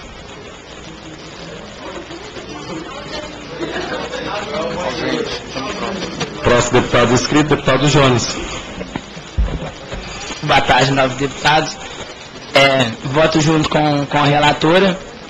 Queria, concordo com o nobre deputado Jair, e mais que isso, queria simplesmente acrescentar e valorar esse, essa discussão no sentido de que nos últimos tempos temos ficado cada vez mais revoltados com a situação de, de problemas de corrupção no nosso país. E é uma forma severa e uma forma muito interessante de se coibir essa prática nefasta que corre nesses corredores. Deputado, só para lembrar, para o deputado falar bem próximo ao microfone, direcionar, e esse lembrete a todos, a todos os deputados. Essa é uma prática nefasta nos nossos corredores, que isso é uma forma, esse projeto de lei ajuda a coibir essa corrupção que assola o nosso país e dá uma grande oportunidade para aqueles que não concordam com esse tipo de prática, com práticas como compra de voto, com práticas como financiamentos de campanhas com, a, é, com intuito de trocas, e isso é a favor da sociedade, da população, que só assim a população consegue ser de fato representada, porque na atual conjuntura das campanhas políticas, muitas vezes são eleitas pessoas que simplesmente são eleitas por conta de grandes campanhas, não de, como disse o nobre Jair, não por grandes projetos, muito menos por ideologias partidárias. Uma, uma breve só para só colocar isso. Antes do próximo deputado inscrito, só para lembrar aos deputados que, que está em votação é, o projeto de lei número é, da página 35, tá? E seguintes. Próximo deputado inscrito, deputado Murilo. Boa tarde a todos. Eu só gostaria de fazer primeiramente um, uns apontamentos e posteriormente um, questionamento, um questionamento em relação ao projeto de lei. Primeiramente, eu concordo com o fato de o atual financiamento é, misto, existem três tipos de financiamento existentes: o público, o privado e o misto. No atual, Brasil é um misto em virtude de usar o financiamento privado, de, no caso de empresas doações, tanto de eh, filiados quanto de doações de, empre- de empresas e eleitores que simpatizam com o partido. E quanto no caso de- do financiamento, a parte pública do financiamento advém de investimentos indiretos no caso de concessão de tempo de TV e rádio.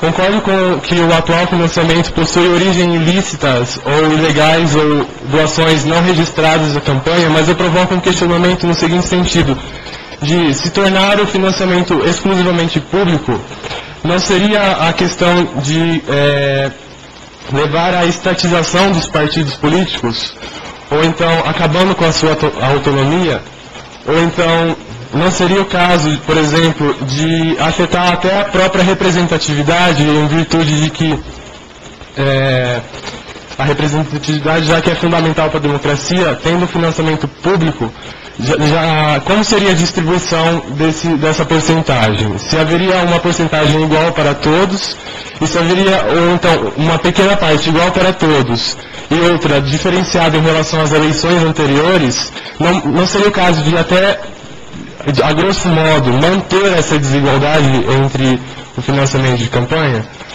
E com isso eu encerro minha fala. Obrigado. Deputado, cede o tempo restante? A palavra está com a relatora. Nobre deputado, eu gostaria de esclarecer que a definição dos recursos, ela está no artigo 18A. Lá, a definição está sendo regulamentada conforme as eleições. Por ser um artigo extenso, eu peço a dispensa da leitura. Quanto à estatização dos partidos políticos, eu entendo e acredito que, a partir do momento que a lei prevê, o governo simplesmente não pode se abster de seguir, porque nós temos os guardiões da nossa lei e temos os órgãos, como já foi dito, que trabalhariam conjuntamente. Tribunal de Contas 20 segundos para concluir, tá? e o Tribunal de Contas da União. Com isso, a obrigatoriedade do repasse do recurso, ela, ela teria.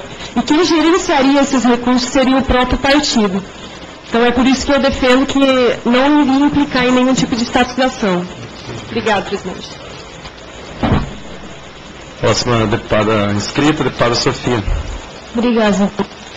É, eu queria colocar, eu acho que essa vai ser uma questão muito mais, muito mais fácil de resolução, apesar de que eu gostaria de atentar aos seus deputados que lessem a lei na íntegra, não só identificando o mérito, porque eu acho que o mérito é bem, co- co- conjuga muito com o nosso sentimento e com o nosso objetivo dentro desse, desse parlamento, que é, é, necessariamente é, diminuir o grau de corrupção dentro do país e operacionalizar algumas decisões e campanhas eleitorais.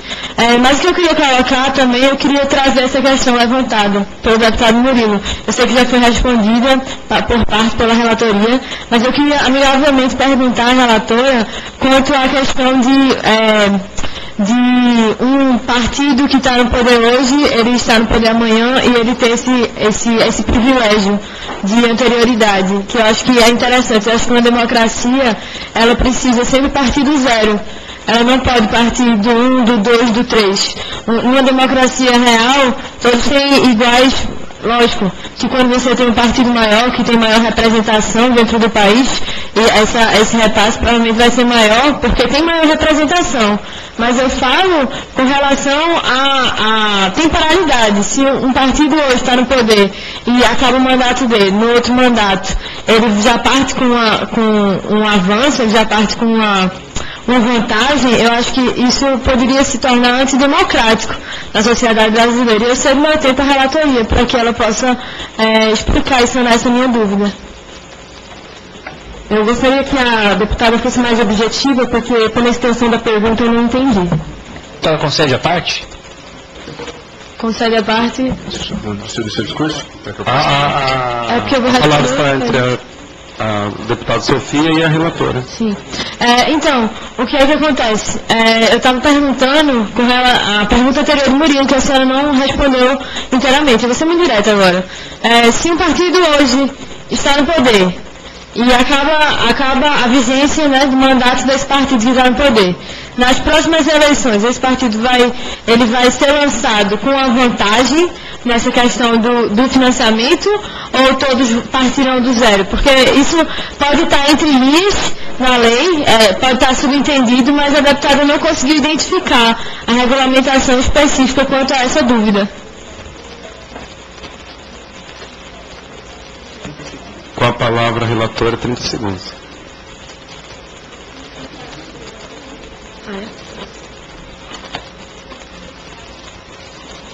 A deputada pode, pode me conceder um... Lembrando que a relatora ah, tem a disposição final, o tempo final, as considerações pode me finais. conceder um- Concede o Eu tempo? gostaria de passar a palavra para o Temos deputado mais- Ramon. É que nós temos mais tempo. Não é isso não. É que está encerrado o tempo da deputada, que o tempo é da deputada Sofia. Está encerrado. Passamos então ao próximo deputado inscrito, deputado Pedro. Não, não. A gente é que a gente está conversando. Próximo inscrito, Lucas, deputado Lucas. O PT está no poder hoje. Eu acredito que houve algum, alguma confusão, porque eu sim me inscrevi nesse, nesse debate e quem sabe está me inscrevendo no, no anterior. Que foi uma lista diferente. Eu gostaria... É, deputado, eu posso. Eu não, não, não- é para discursar, é só o tempo restante da deputada. Já acabou? Não tem mais tempo. Ah, não tem mais nada. tem mais então, então eu posso usar meu tempo só para esclarecer a pergunta da, da deputada? Então, deputado inscrito, o deputado estava inscrito, né? O deputado, então, vai falar depois de três minutos, então. É isso? Tá? Sim. Eu vou usar só parte, eu não vou usar Então, o deputado inteiro. Pedro, com a palavra. Mas lá no ar- artigo, deixa eu só abrir aqui de novo. A questão se volta quanto à an- anterioridade, né? Se o partido que estava no poder, por exemplo, que tinha um número de, chutando aí, 30 deputados dentro da, da Câmara, se ele teria vantagens em relação aos outros partidos que não teriam a mesma quantidade. É isso a pergunta? Conselho tempo para a responder. Então, deputado, é, não somente com relação à anterioridade no número de votos, mas também com relação à anterioridade é, no poder. Por exemplo, se em uma eleição, a gente estava discutindo isso com relação quociente, eu vou introduzir um pouquinho nisso. Se em uma eleição, tá? O partido A e o partido B. O partido A teve 60 mil votos certo? Mas ele só ele colocou é, três deputados. E o partido B teve é, Sim, é porque aqui o que se vota é a quantidade de deputados já eleitos e não a quantidade de votos em si, deputado. Deputado Pedro, é, essa é minha pergunta. Sim, com certeza. Deputada Sofia, a senhora quer discutir algum artigo específico que consta no projeto de lei em questão ou é só uma especulação? Não é especulação, deputado, é o artigo 18. Então estamos discutindo o projeto, presidente, por questão de ordem. O, o- o artigo 18 dele é claro, ele, ele divide em porcentagens os recursos destinados, aqui ó, se todos puderem abrir, os recursos destinados aos órgãos de direção nacional dos partidos. É, 5% igualitariamente, então independente de todos os, pelo que eu estou dando uma interpretação minha, tá? Porque eu não sou relator. Obviamente, se a relatora quiser se manifestar, pode pedir o tempo. 5% igualitariamente, independente se o partido tem 1, 2, 10, 30, 100 deputados. Estou tratando especificamente da eleição para a Câmara. Tá? É, 10% igualitariamente para todos os partidos têm elegido representante para a Câmara. No, na eleição anterior. Posso, posso usar? Só para esclarecer, eu acho que eu entendi a, a divergência. É, que só eu terminar esse. Na eleição anterior, ou seja, os partidos que detêm uma quantidade maior de deputados na eleição anterior, eles vão ter uma vantagem em relação aos partidos que não tiveram a mesma quantidade de, de deputados. Foi isso que eu entendi a pergunta da, da deputada Sofia. E ele. E esse artigo é bem específico, eu, eu concordo integralmente com ele, não vejo nenhum tipo de problema. É, Ramon, 30 segundos para concluir. Pode. Com certeza. Ah, eu, eu acredito que o que a, o que a acho que mal entendido. O que a deputada está contestando é a divisão, como vai ser feita essa divisão. Ela, ela descobriu o fundo, o fundo estabelecido no artigo 17. O artigo 18 e 18A estabelece critérios de proporção. E eu acredito que o que ela quer contestar, no fim das contas, e isso vou abordar depois, é a questão de, não seria o caso então, talvez, dentre as várias propostas possíveis, de uma divisão igualitária? Porque uma divisão proporcional corre o risco, isso é falando dos tópicos em debate, corre o risco de você ter uma prolongação do partido que tem mais força hoje nas eleições futuras, porque proporcionalmente pela divisão, 75% vai para ele. Mas esse é um ponto que é delicado. Seria então o caso de uma divisão igualitária entre 32 partidos? Os 32 partidos receberem a mesma quantidade? Segundo para concluir. É, passamos ao próximo inscrito, deputado Ramon. Era isso. A linha D resolve.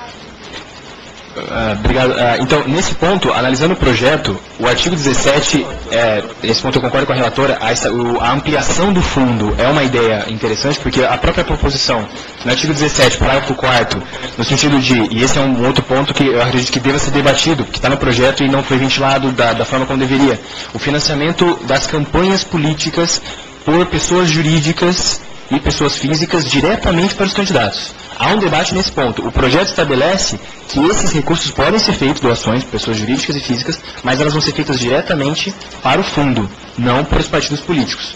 Esse é um ponto de divergência, tendo em vista que ah, algumas, algumas pessoas, alguns deputados, eu acredito que entendam que isso possa restringir a, a- a conexão do partido com o seu eleitorado, tendo em vista que não vai ser mais preciso buscar fundos, por exemplo. O fundo vai estar garantido, ele não vai ter que ir no seu eleitorado, vai numa atuação direta com o seu eleitorado para conseguir essa verba. Além do que, eh, essa divisão, eu acredito que aqui, além dessa questão das pessoas jurídicas poderem doar diretamente ou não, a questão da divisão é o tema mais delicado. Porque 75% dos recursos serem designados para o partido que na eleição anterior conseguiu a maioria na casa, é um percentual demasiadamente grande para você, na campanha seguinte, pegar os recursos do fundo e proporcionalmente passar esse recurso para aquele partido.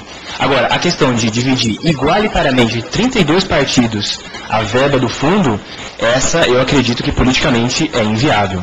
A, a deputada É, eu gostaria de. A você tiver de- acabado, você discurso.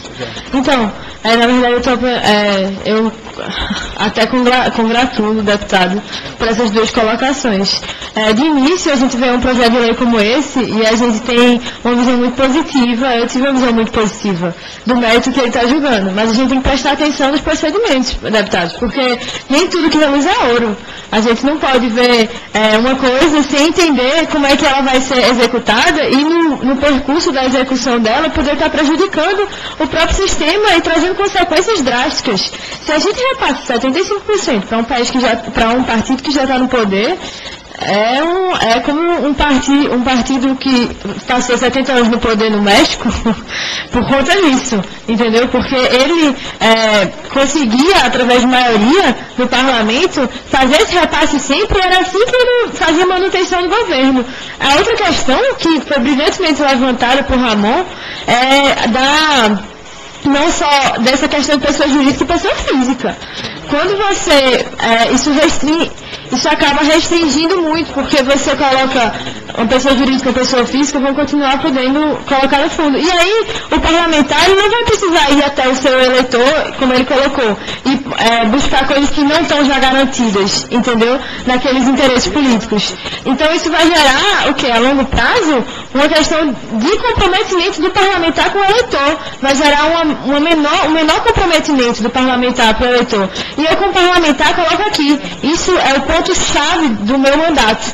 Eu quero esse comprometimento com o meu eleitor e eu gostaria que os senhores eh, entendessem esse quesito, se os senhores concordam comigo, de que 30 segundos para concluir. nós não estamos aqui representando partidos, mas nós estamos aqui representando pessoas que nos elegeram. Concluo meu discurso, deputado. Eu posso só utilizar o final? Se tiver tempo. Deputado, É rapidinho. É, é- é que pelo que eu entendi da deputada Sofia, as, as pessoas jurídicas e as pessoas físicas 20 continuarão a segundos, poder doar pelos, para os candidatos. Ah, no, no artigo 17, parágrafo 4 tem essa possibilidade, mas você, vai, você não vai dar para os candidatos, apenas para o fundo, Ah, pelo projeto. Isso é um tópico tópico a ser debatido, se é- essa disposição da lei estaria adequada ou não, se seria o caso de autorizar, como é, como é é hoje e está sendo debatido, essa possibilidade de doação direta. Certeza, obrigado. Próxima deputada inscrita, deputada Ângela. Na verdade, eu queria escutar mais. Eu só tenho a concordar, porque na verdade eu concordo muito com o que a Sofia falou. Eu acho que na verdade o que tem é um grande erro, porque na verdade o sistema hoje cria uma certa, uma certa dependência. Agora eu te pergunto, Sofia, por que, que isso não muda? porque é conveniente para os deputados, né? Quem vota isso são os deputados. Agora,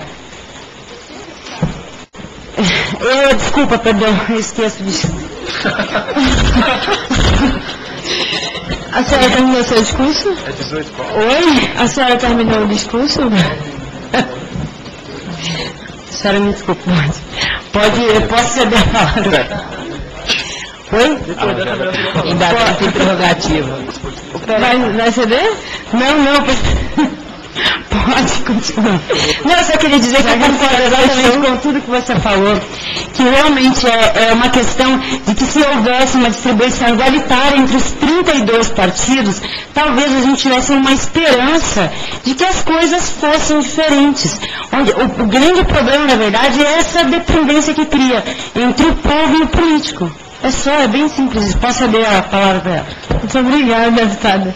Então, é, mais uma vez, a gente tá, a gente tá, isso aqui tá lindo. Isso, isso é a, a democracia. A gente surgiu uma ideia e a gente está aprimorando ela. E a gente está tá respaldando ela em outras vertentes. Como a deputada tão brilhantemente colocou. É, a gente está até o senhor presidente está falando. Ah, a gente está até discutindo uma questão ideológica, né? É, tudo bem. É, você pensa assim, 32 partidos, esse orçamento X vai ser dividido por 32 e vai ser dado igual para todos. Isso, assim, é, como o deputado Bruno colocou, pode ser meio inviável em alguns termos. Mas, assim, é, em outros, e, por outro lado, isso é que é ser plenamente democrático. Se você está querendo tratar de igual para igual e de que todos nascem com as mesmas, a gente vai prover para que todos, assim, tentar garantir para que todos tenham as mesmas condições, os mesmos meios de chegar até o fim, é, isso seria o mais certo.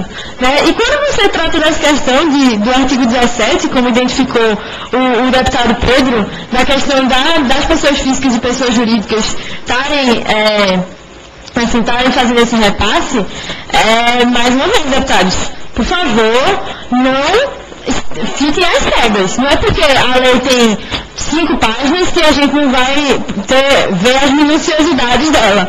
E a minuciosidade aqui não é uma minuciosidade, é uma grandiosidade. Você está propondo extinguir é, corrupção, extinguir associação privada a um, a, um, a um indivíduo político, mas ao mesmo tempo você não está mudando muita coisa, entendeu? Você está é, vendendo gato por lebre. Então, não, não tô, talvez eu esteja tomando decisões precipitadas, é, uma opinião precipitada, e eu gostaria que os senhores colabo- colaborassem com essa discussão, que a gente ampliasse essa discussão. É, que a gente atentasse, isso, isso pode ser uma faísca. Sim, isso pode ser uma faísca que talvez se torne um fogo e esse relatório né, não passar. Não estou dizendo que isso vai ser o caso. Mas para a gente amadurecer mais essa discussão e não deixá-la de lado. É, os senhores, por favor, leiam na íntegra. É, o discu é, eu acabo meu discurso, deputado. Com a palavra, deputado Flávio. Bom, só gostaria de, de dizer que a opção dada pelo deputado Ramon também foi bem viável de ser um sistema igualitário de financiamento público distribuído pelos, pelos partidos. Porque o sistema atual, que é proporcional, é, dá ênfase, é, só, só possibilita que, deputados, que partidos maiores se mantenham no poder. Porque ele vai receber mais recursos. Então, os partidos menores, recebendo menos recursos, não terão tanto dinheiro para fazer sua campanha. Porém, o investimento privado eu não acho que seja tão é, abominável assim, que que proibir o, o- investimento privado totalmente seria uma medida tanto quanto autor- autoritária. O problema não é investimento privado, o problema é, é os, os partidos se manterem, se colocarem reféns do, do, de quem está investindo. Então, poderia haver uma maneira de, de lá, não sei, fiscalizar, alguma coisa assim, o, é, esse, esse método de, de, dos partidos ficar devendo a quem investe. Poderia, rever, poderia se rever isso. Pode, pode Vossa Excelência, ah, desculpa. Não, não, Perdão. Você me dá a palavra? Vossa Excelência roubou meu tempo. A palavra está deputado Flávio.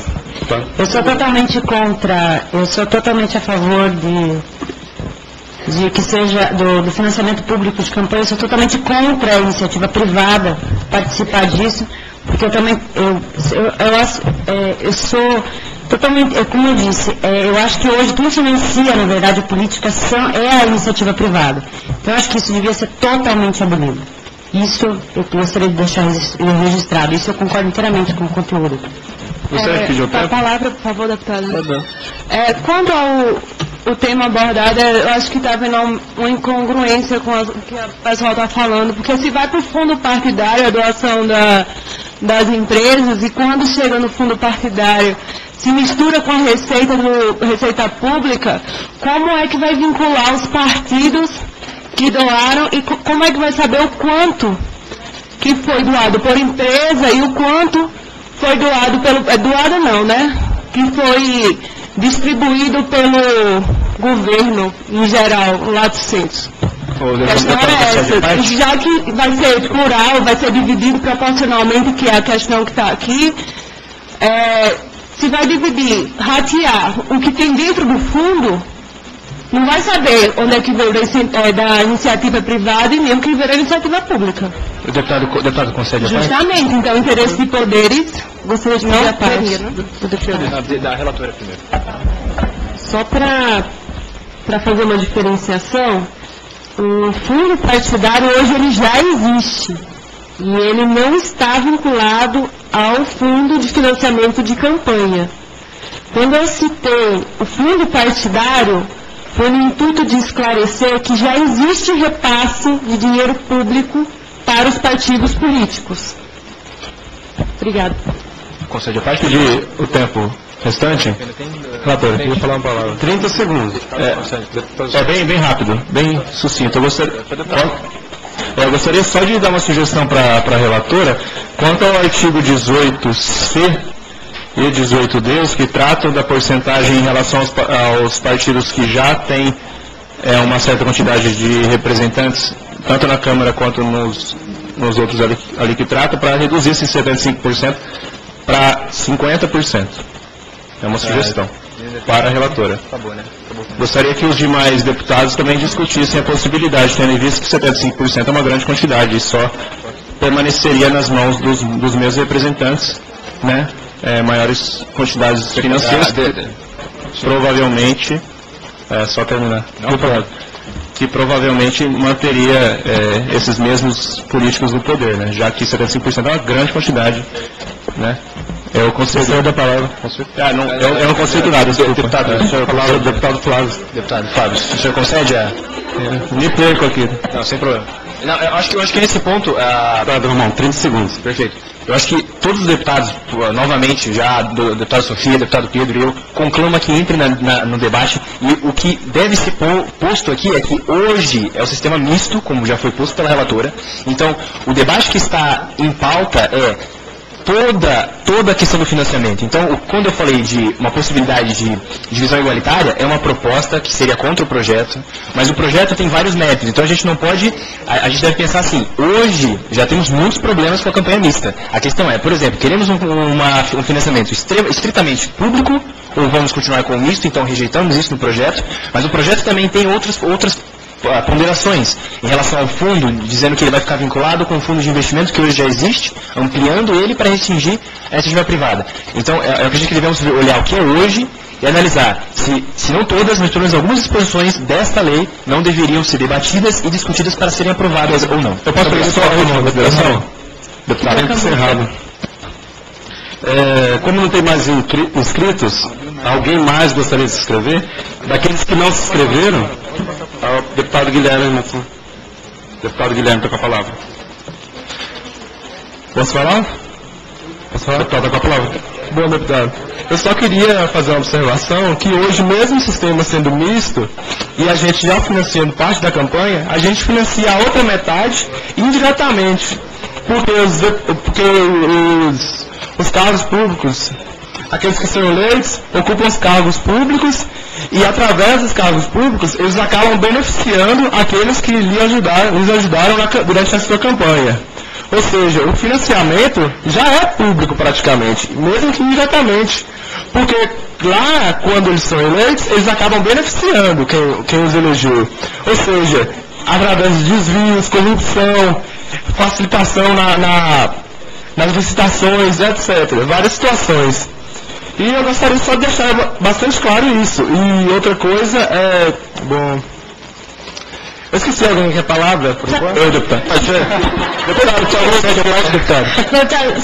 Eu sei da parte enquanto eu não lembro. Vai pra qual pessoa, deputado? Alguém quer falar? A palavra está com o deputado. Deputado. É, deputado, eu só gostaria de lembrar todos os deputados que ser a favor do financiamento público de campanha não significa ser a favor desse projeto de lei.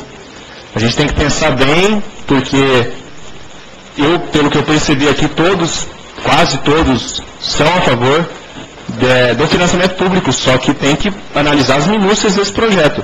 O projeto é específico quanto à porcentagem dos recursos que serão destinados aos partidos, e eu acho que esse é o ponto controverso que a gente tem que discutir aqui. Se todos são a favor, não vamos perder tempo e ficar falando sobre financiamento público, que é lindo e blá blá. Se você é a favor, beleza. Vamos discutir o projeto. Entendeu? Se você é a favor, discuta o projeto. Deputado, faz meu tempo de volta. Oi, meu tempo de volta. Ó, assiste já. Deputado, 30 segundos. Eu, eu gostaria de falar que eu concordo com a divisão igualitária e distribuição entre todos os partidos de forma igualitária, pois é através do contato do, do, do político com os eleitores que, que vai construir a democracia. Não é através dele estar investindo mais ou menos na campanha. E mesmo tendo poucos recursos, os partidos poderão inovar, buscando novas formas de ter um contato maior com o eleitor. E não precisando gastar enormes fortunas como é hoje. Só isso, deputado.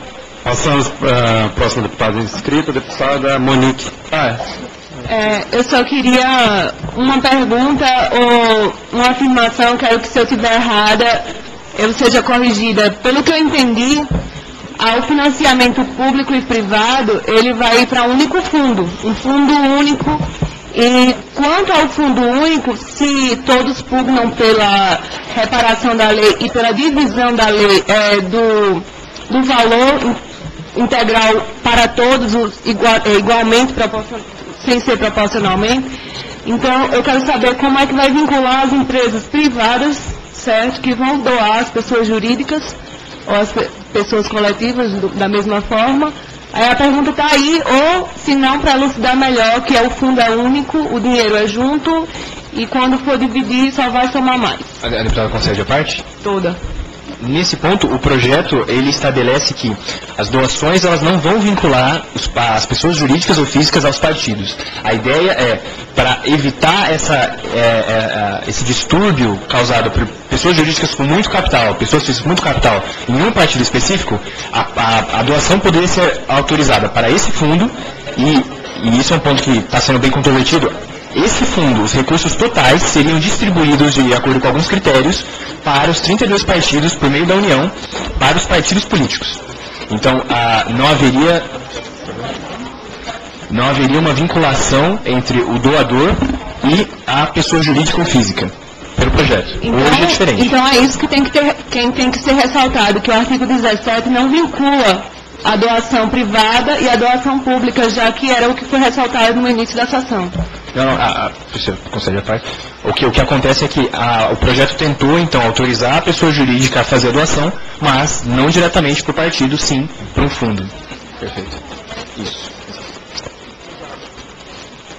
Deputado, gostaria de fazer uma pergunta? Pode, posso fazer? Pode, não consegue um tempo? Só deixa uma pergunta no ar. 20 segundos para Eu gostaria, eu gostaria só de saber qual o estímulo que as pessoas físicas e jurídicas terão em doar para esse, pra esse fundo.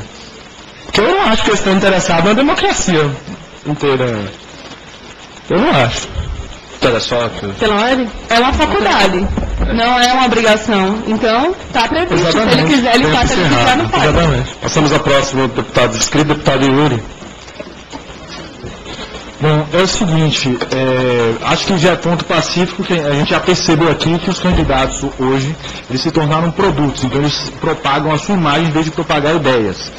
É, eu percebi aqui, me parece, que a comissão ainda não, ainda precisa amadurecer mais a ideia. Por- principalmente na questão que a deputada Sof- Sofia trouxe sobre a questão da distribuição. A gente chegou a falar de, de uma distribuição igualitária, o Ramon falou que um- uma verdade que é realmente complicado você é, é, ter 32 partidos vai definir de forma igualitária. Tem os partidos danicos, tem os partidos oportunistas. Não querendo vincular, é, é, colocar estereótipo, estereótipo sobre ninguém, mas você fazer simplesmente uma, uma di- ah, vamos dividir igualitariamente. Ok, baseados em que critérios? Porque hoje o que a gente tem são esses critérios aqui do projeto de lei que estamos discutindo. Então me parece que ainda precisa ser amadurecida eh, essa ideia. Nós aqui não chegamos a nenhuma conclusão, me parece que a única conclusão é que eh, a distribuição, que no final das contas beneficia, entrega 75% dos recursos aos partidos que hoje estão no poder, é, é- é- é- não é positivo, não é uma coisa positiva que pode acabar perpetuando as, as mesmas pessoas no poder durante um tempo exagerado, é, é, de um tempo exagerado, o que não é saudável à democracia, que a alternância é sempre muito saudável. Era isso. Ah, sim, eu tenho uma pergunta, que na verdade eu até comentei um pouco. Falaram sobre os 50%, eu não tenho certeza de quem foi que falou, mas por que 50%? Não tenho certeza se foi você, deputado Ramon. Eu queria pedir meu tempo, se o deputado quiser falar, para saber a sua pergunta. Quanto tempo eu disponho, mesa? Um minuto e meio. Então, é, o deputado perguntou qual é o tempo, a arbi- arbitrariedade do tempo. Eu estava aqui conversando com o deputado Pedro sobre uma possível mudança no dispositivo para que fosse de melhor aprovação e melhor consideração da Câmara. É, geralmente, é, percentagens como essas, elas são arbitrárias. É, já tive contato com outros tipos de projeto de lei, elas realmente são arbitrárias. Se a gente tivesse que fazer um estudo para poder conciliar é, como seria, por exemplo, é, se, por que 75% necessariamente? Por que reduzir para 50% e não reduzir para 40%? É isso que o senhor está respondendo. É, o que acontece é que a gente não tem precedente de quanto, por exemplo, se eu reduzir para 50%, qual vai ser o efeito? A gente não tem material para fazer essa correlação. Então, eu estava até conversando com o deputado de uma possível é, mudança para proporcionalidade nos incisos, acredito que 17, 18, 19 e 20, que tratam da mesma é, disposição percentual, a gente trocar para 25, 25, 25, 25. Porque, novamente, a gente não tem material... Sim, deputado. A gente não tem material... Inciso um artigo. É. Inciso 1, 2, 3, 4, Perdão, inciso 1, 2, 3 do artigo 17, para quem tiver curiosidade. Do artigo... 18... 18D. 18C. 18C. Inciso 1, 2 e 3. Inciso 1, 2, 3 do artigo 18C.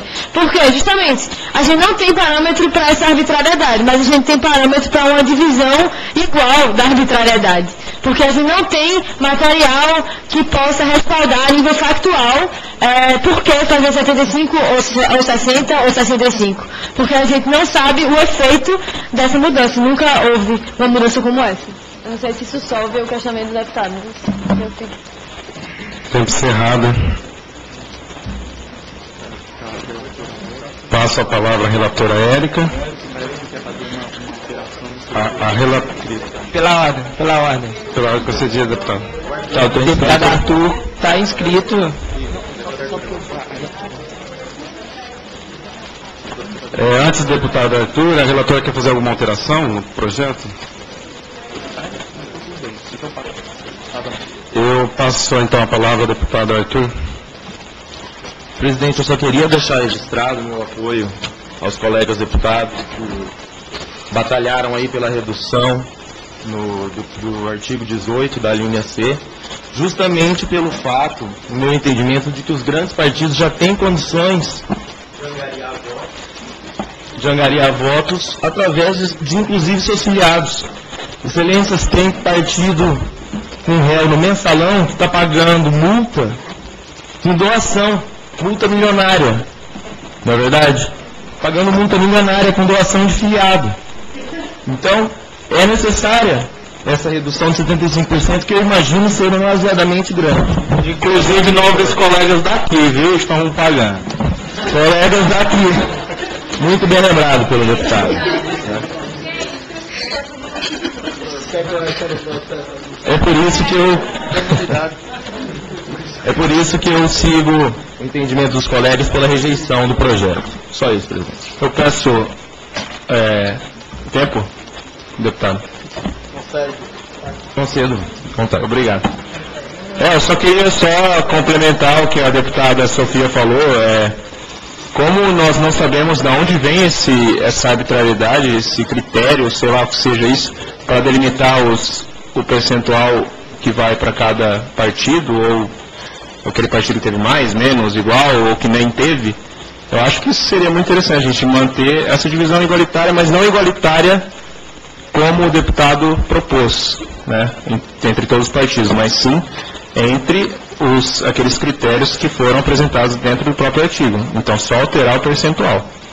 Percentual de 25%, 25%, 25%. 25% para todos os partidos inscritos, ou seja, independente se elegeram ou não, 25% para é, partidos que elegeram, 25% dentro daquele, daquela proporcionalidade que, que já, também já está descrito no, no artigo. Acho que foi uma forma que a gente encontrou para tentar diminuir essa, essa, esse benefício aos partidos que já detinham grande parte da, da mesa da, da casa. Deputado o senhor concede a parte?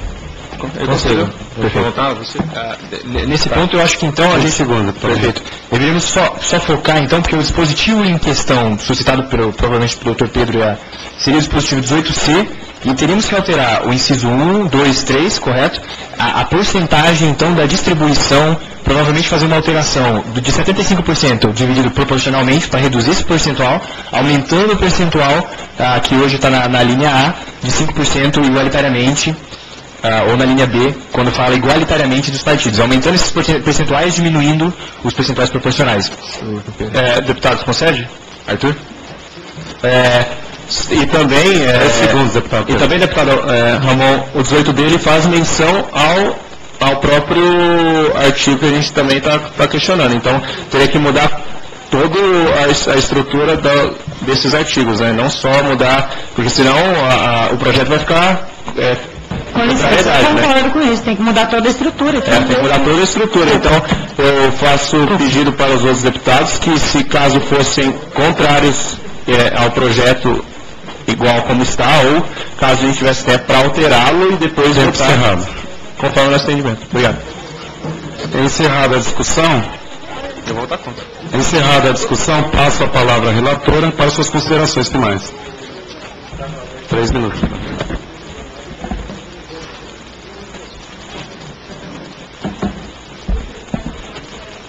Eu fiquei muito feliz pela participação do- dos nobres colegas e quero agradecer o empenho em discutir o projeto, por se tratar de um projeto tão importante.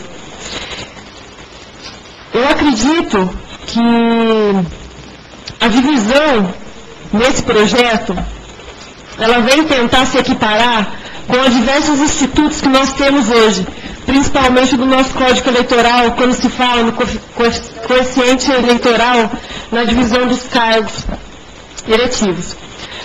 Mas, para acreditar realmente que esse projeto ele vem de suma importância e vem de encontro aos eleitores que nos colocaram aqui e que têm um clamado para que esse projeto seja aprovado, eu sugiro ao senhor presidente que seja feito as alterações nesse projeto para que ele possa ser votado e ser realmente aprovado nesse plenário hoje. Pode repetir, eh, relator? Ela se joga alteração, doido. Concordo. Alteração, Eu peço, Vossa Excelência, O presidente dormiu? que de acordo com as Ah, não, não. sugestões Pela ordem, pela ordem, senhor deputado, decoro, por favor, decoro. Pode falar, relator.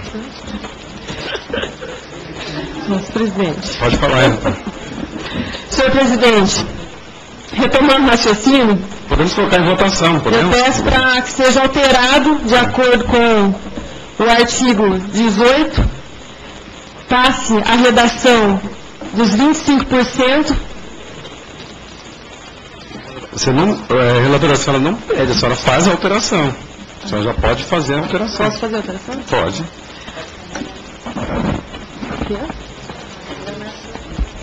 De acordo com a relatoria, então, eu altero o artigo 18 e acato a sugestão dos nobres pares para que esse projeto seja aprovado, tendo em vista que é interesse de cada um de nós, interesse da população que nos colocou aqui nos nossos cargos para exercer esse mandato. O artigo 18 vai ficar suprimido? Como é? Não, alterado. Alterado? E qual a alteração? Que 25, porcentagem? a alteração foi debatida, senhor presidente. Linha D, presidente. Como Só a palavra está com Só para ficar claro. Agora, presidente, relatora, eu peço Ordem, senhor A palavra está com a relatora. Relatora, só para ficar bem claro. Senhora, qual é a alteração? Sim, para ficar bem claro. Relatora. Alteração do artigo 18, C. Os recursos definidos para cada carga em dispu- disputa, na forma dos artigos 18, 18A e 18B, serão distribuídos entre os partidos políticos nas respectivas circunscrições, obedecidos os seguintes critérios. Inciso 1. Nas eleições presidenciais, 25% igualitariamente para todos os partidos que tenham seus estatutos registrados no TSE, 25% igualitariamente para todos os partidos que tenham elegido representante para a Câmara dos Deputados na eleição anterior, 25% igualitariamente para todos os partidos que tenham elegido mais de 10 representantes para a Câmara dos Deputados na eleição anterior. E 25% dividido entre todos os partidos proporcionalmente ao número de votos obtidos no país pelo partido da última eleição geral para a Câmara dos Deputados. Relatora, eu, eu peço tempo para só... Ah, a discussão foi encerrada. A discussão foi encerrada. Eu coloco agora para votação esse... esse... Agora, então, eu passo a votação. Teve tempo suficiente para amadurecer a ideia. Questão de ordem, presidente. Questão de ordem. Rele- relevante só fazer uma consideração, porque, pelo meu entendimento, a relatora delegou, ela ela transformou nosso entendimento, meu e da Sofia, dos 25% integralmente. Ou a senhora fez algum tipo de alteração na nossa proposta de alteração. Porque eu acredito que nesse momento, eh, recebi a informação de que temos algumas contingências e a sessão tem a possibilidade de, conseguir, de alterarmos o projeto porque tem muitos pontos para ser debatido. Então, eh, eu entendo o seu ponto e acredito que pra, na votação não vejo um outro caminho senão a rejeição. A rejeição, então, E foi, e foi levantado, A rejeição. foi levantado outro ponto pelo deputado Jair, muito pertinente. Os partidos novos. E os partidos novos? Então rejeitem. Então, a, a relatora fez as alterações, então passaremos à votação com as alterações da relatora. Então, passe a votação. Aqueles que concordam com o parecer da relatora, com as alterações feitas, permaneçam como se encontram.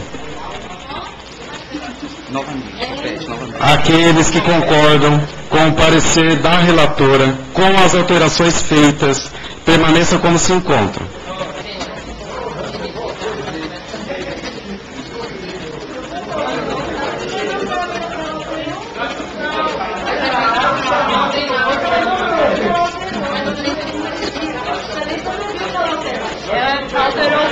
Vossa Excelência não viu qual alterou aqui na frente.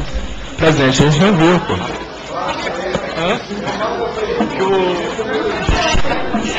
Aprovado com 16 votos. Eu queria pedir, senhor presidente, verificação de votação. Verificação de votação. Também gostaria de pedir. Concedido. Também peço, presidente. Passamos então à votação nominal. Nós somos do pessoal, somos contra. Gostaria de pedir atenção para os senhores. Queria pegar Então, uma cópia do texto também, por favor.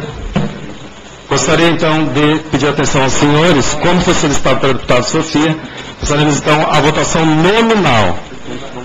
Vão ser chamados um a um, que devem declarar sim, não ou abstenção. Então, ele vota na hora direta, né? Votar sim, não ou se abstesse de votar.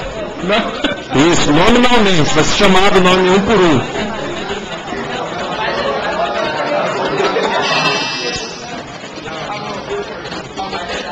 Pedir atenção que nós estamos em votação ainda. O pessoal que está de pé, senta, por gentileza. Nós vamos passar a votação nominal.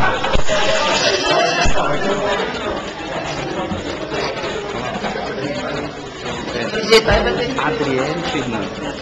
Deputada Adriane Fernanda, como vota? Não. Deputado Alexandre Pina.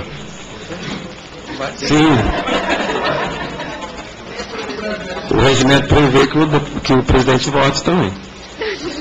41, parágrafo único. Artigo 41, parágrafo único do regimento interno. Deputado, deputada Alice Diniz, como vota? No microfone, por gentileza. Tem que ligar, deputado. Eu sigo o relator. É, deputada Aline, como vota? Sempre no microfone, por gentileza. Não tem? Receba, pessoal, lá do fundo, os restantes todos com o microfone. Deputada Ana Carolina, como vota? Não. Sobre senhor presidente. Estamos em votação.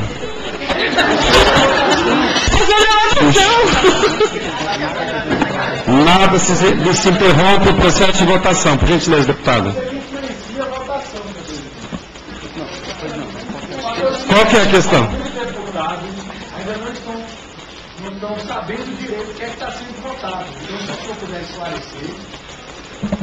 Presidente, presidente, isso é normal. Só um minuto, só um minuto, só um minuto. É o seguinte, só um minuto. O que está sendo votado é o parecer da relatora, ela tem um projeto, que é o da página 35, com as alterações feitas por ela, tá? Então, assim, ela, ela alterou oralmente, ela catou alguma coisa, mas, mas todos os parlamentares aqui têm o direito de concordar com ela ou não. Se você não concordar, você vai rejeitar. O que está sendo votado é o parecer dela com as alterações. Tá? Com, as alterações que ela, que ela fez no microfone. Por, por isso, exatamente, que ela proferiu. Por isso que a gente pediu, por isso que o, o presidente pede que. Teve uma alteração acatada, não foi? Exato. do artigo- As demais não Foi, foram. Exatamente. É.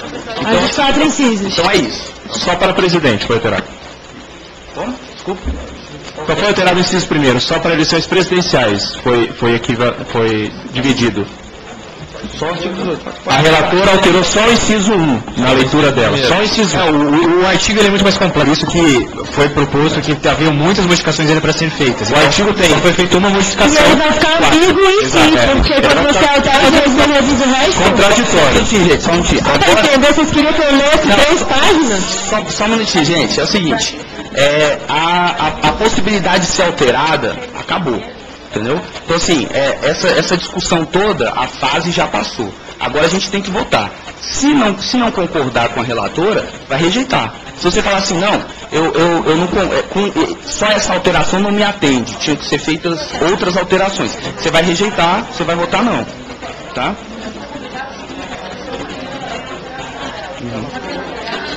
Senhor presidente. Senhor presidente. Eu sugiro que continue a votação. Passamos então à continuação. Silêncio. Deputada Ana Sofia, como vota?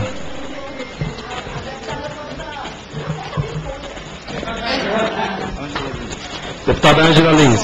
Eu voto com a relatora. Deputado Arthur, como vota? Pelo não, presidente. Deputada Bárbara Cataia, como vota? Desculpa, Bárbara Campos, como vota? Sim. Deputada Bárbara Cataia, como vota? Não, presidente. Deputado Caio Alberto, como vota? Não, presidente. Deputada Camila Cioli, como vota? Não. Deputado Carlos Augusto, como vota? Favorável. Deputado David Reginaldo, como vota? Não, presidente. Deputada Érica Passarelli, como vota? Sim, presidente. Deputado Felipe Santos, como vota? Não, presidente. Deputada Fernanda Silva, como vota?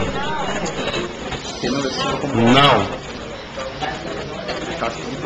Deputado Felipe Oliveira, como vota? Acho Deputado Flávio é, Gal- Falcão, como Voto vota? contra. Contra. Não. Deputada Gabriela Azevedo, como vota? Deputado Guilherme Monção, como vota? favor. Deputada Inês Moreira, como vota? Deputado Jair, como vota? Eu sou o pessoal, eu sou do contra. Eu voto sim. Deputada Jéssica, como vota? Não. Deputado João Riel, como vota? Com a relatora. Deputado José Vieira, como vota? Concordo com a relatora. Deputado Jonas Muniz, como vota? Não. Deputado José Laes, como vota? Voto não, presidente. E haverá reunião da bancada lá na ENAP hoje, viu? Deputada Camila, como vota? Voto Deputada Camila, como vota? Deputada Carolina de Mello, como vota? Deputado Lucas Frazão, como vota? Deputada Maíra Sandrini, como vota? Eu voto com a rela... Meu voto é com a relatora. É, deputada Maria Dilson, como vota? Não. Deputada Mariana, como vota? Não, presidente. Deputada Monique da Mota, como vota? pelo não. Deputado Murilo, como vota? Voto pelo não, senhor presidente. Deputada Natália, como vota? Deputada Natália? Com a relatora. Deputado Pedro, como vota? Só que não. Deputado, é, deputado Pedro, como vota? Não. Não. Só que não. É, deputada Poliana, como vota? Voto com a relatora. Deputada Raíssa, como vota? Não. Deputado Ramon, como vota? Siga a divergência, senhor presidente, voto pelo não. É, deputada Rafaela, como vota? Não. Deputada Rebeca? Sim. Deputada Charlize? Não. Dep- Deputada Suélia, como vota? Está ausente, né? Ausente. Deputado Thomas, como vota? Pelo não, senhor presidente. Deputada Vitória, como vota? Me abstenho. Deputado Vlaudson Brito, como vota? Senhor presidente, meu filho está me assistindo e pediu para eu votar pelo não. Deputado Yuri, como vota?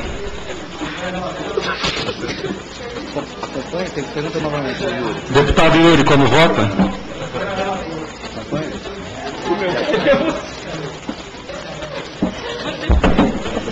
Encerrada a, a votação, nós vamos fazer a apuração. Tá, tá, tá, tá. Vixe.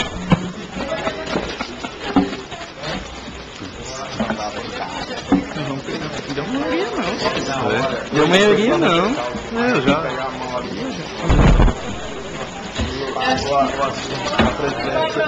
Eu ia falar, né? Mas aí eu, eu acho que dá pra acrescentar você Barril mesmo. Barril mesmo.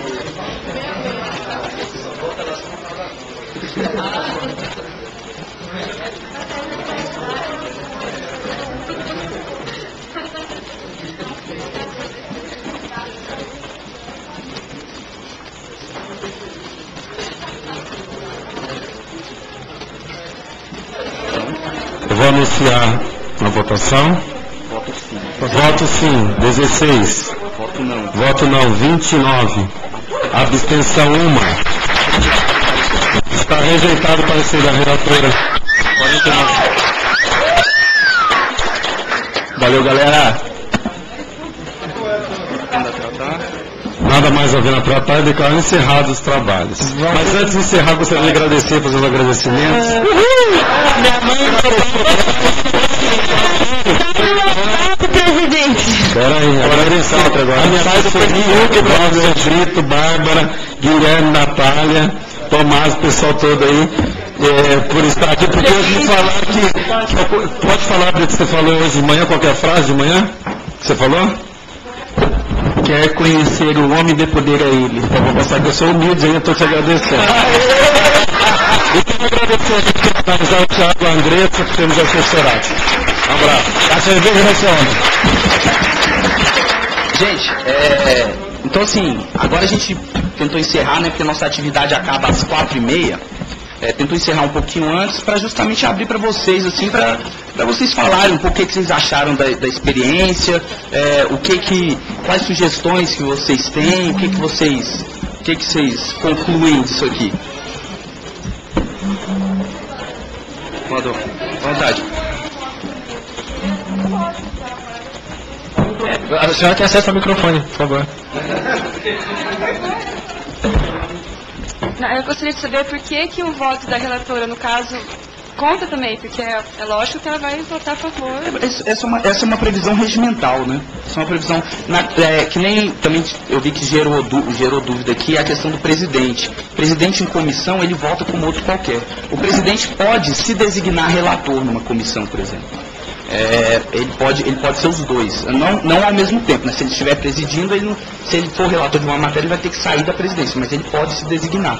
E, a- e o, e o regimento prevê é, o voto do relator também.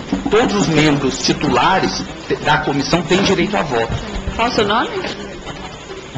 É Bárbara.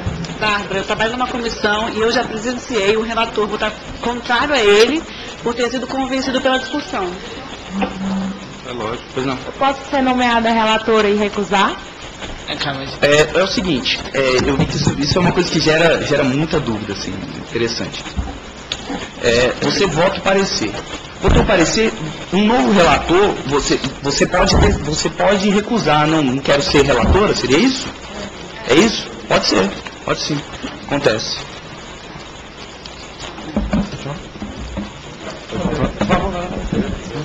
Tiago, como que pode ser usada a questão de ordem? Porque a gente frequentemente vê ela sendo usada, né? E até pelo fato de isso, a questão, a questão de ordem, ela é usada assim, ela é usada comumente para tanto para dirimir algumas dúvidas, essas todas essas dúvidas que a gente tem aqui, normalmente é levantada uma questão de ordem, sempre citando o artigo do regimento, né? É, você tem sempre que falar qual que é a sua dúvida, entendeu? Qual é a sua dúvida? É, então, assim, a questão de ordem serve para isso, para que é, justamente isso, o que está sendo votado, sabe? Você precisa, como é que, a- a- a- muitas vezes um dispositivo regimental, na sua opinião, pode não estar sendo cumprido. Então você vai levantar uma questão de ordem para determinar, olha, a discussão tem que ser assim, tem que, o tempo já, tá, já ultrapassou o tempo determinado, etc. Caso de empate, quem Voto do relator. Voto do relator. Ah, a minha colega deputada, ela votou, ela se absteve da votação. Quando a maioria, hum, abstenção, como funciona? Se você, se você marca a abstenção, você conta para quórum. né? Então isso é bem interessante, assim, é porque pode ser que uma votação, por exemplo, aqui você, eh, vamos, arredondar, tem 50 deputados, É, 26 votaram, só que 25 votaram eh, abstenção, um votou não, um votou sim e zero votaram não. O sim ganhou, entendeu? O, o não, ele, ele- ele- o, que, que, que, que ela falou? Me conte pro quórum, me conte pro quórum, mas eu não vou nem declarar nem sim nem não. Eu tenho uma pergunta. Quando você expõe um fato que é que é fi- fictício, por exemplo, você traz um documento falsificado ou um fato que não é real, você pode ter, tipo, outro deputado trazendo um fato real e contrapondo em um tempo, sem ser o tempo de discurso? Como se fosse um direito de resposta. Tem, tem, tem, tem uma previsão regimental de acusação pessoal, né? Você atribuir, se você atribuir a alguém uma declaração que ele não fez, ou, uma, ou, ou- ou fizer alguma acusação pessoal, você pode pedir tempo a critério do presidente. Como é que funciona na prática? Por exemplo, é, eu vi várias comissões com poucos, com poucos deputados, aí o fluxo é muito mais flexível. Mas como funciona em comissões? Eu imagino que a CCJ deve, deve estar sempre com um quórum bem maior. Como funciona essa dinâmica? Porque aqui a gente viu que a gente queria de vez em quando se, se pegar um ao outro. E, e aí a mesa, ela manteve o decoro, aqui isso se manteve de uma forma bem, bem certinha. Como que na prática essa, fica essa questão? Não, na verdade, assim, ex- existe um, um- um debate ah, em diversos momentos, assim, acalorado, assim, mas eu, eu nunca cheguei a presenciar uma, uma questão assim, é, é, cabe à mesa, esse é o momento em que o presidente, cabe ao presidente tomar a palavra e ordenar os trabalhos, né? Então, assim, quem que vai falar, quem que está inscrito, o tempo, etc, etc. A gente ganha uma flexibilidade para tocar. pode ser.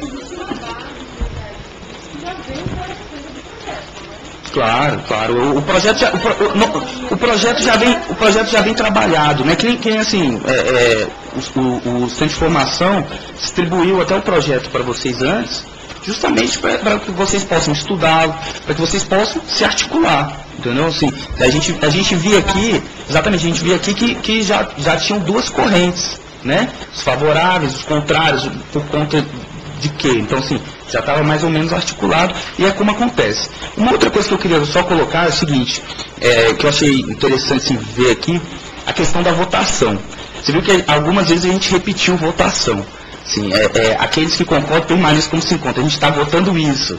É, assim, na, na- numa, numa situação real, é, isso acontece, assim, isso não é, não é, é caso fictício. Numa votação real, o deputado às vezes não está prestando atenção Entende? É até assim, eu acho até simbólico essa frase. Aqueles que, aqueles que concordam permanecem quando se encontram. Então, assim, quem tem que se manifestar é quem é contrário. Quem tem que, quem tem que brigar, vamos colocar assim, é quem é contrário, né? Pois não. Já presenciaram alguma situação onde isso acontece? Por exemplo, é, porque eu sei que há muito jogo de palavras, às vezes, por conta do presidente, de fazer uma votação e colocar permaneçam como estão, e às vezes a pessoa se confunde. Como aconteceu no primeiro, que todo mundo ficou, peraí, o que, que eu estou Mas votando? isso já é rito já, da casa. Todas as votações... E eles estão é- sempre espertos. Porque a gente sabe, por exemplo, a gente sabe que às vezes eles estão saindo de uma e estão entrando na outra e eles às vezes não pegam direito Mas uma isso, mas isso muitas vezes é o papel da assessoria, né? Da própria assessoria, assim. O que que o deputado chega, o que que você está votando? É. O que que o que está votando aqui? Isso. O deputado corre aqui que vai votar aquele projeto que você é, é- é favorável, é contrário, corre aqui, aí ele vai se movimentando nas comissões.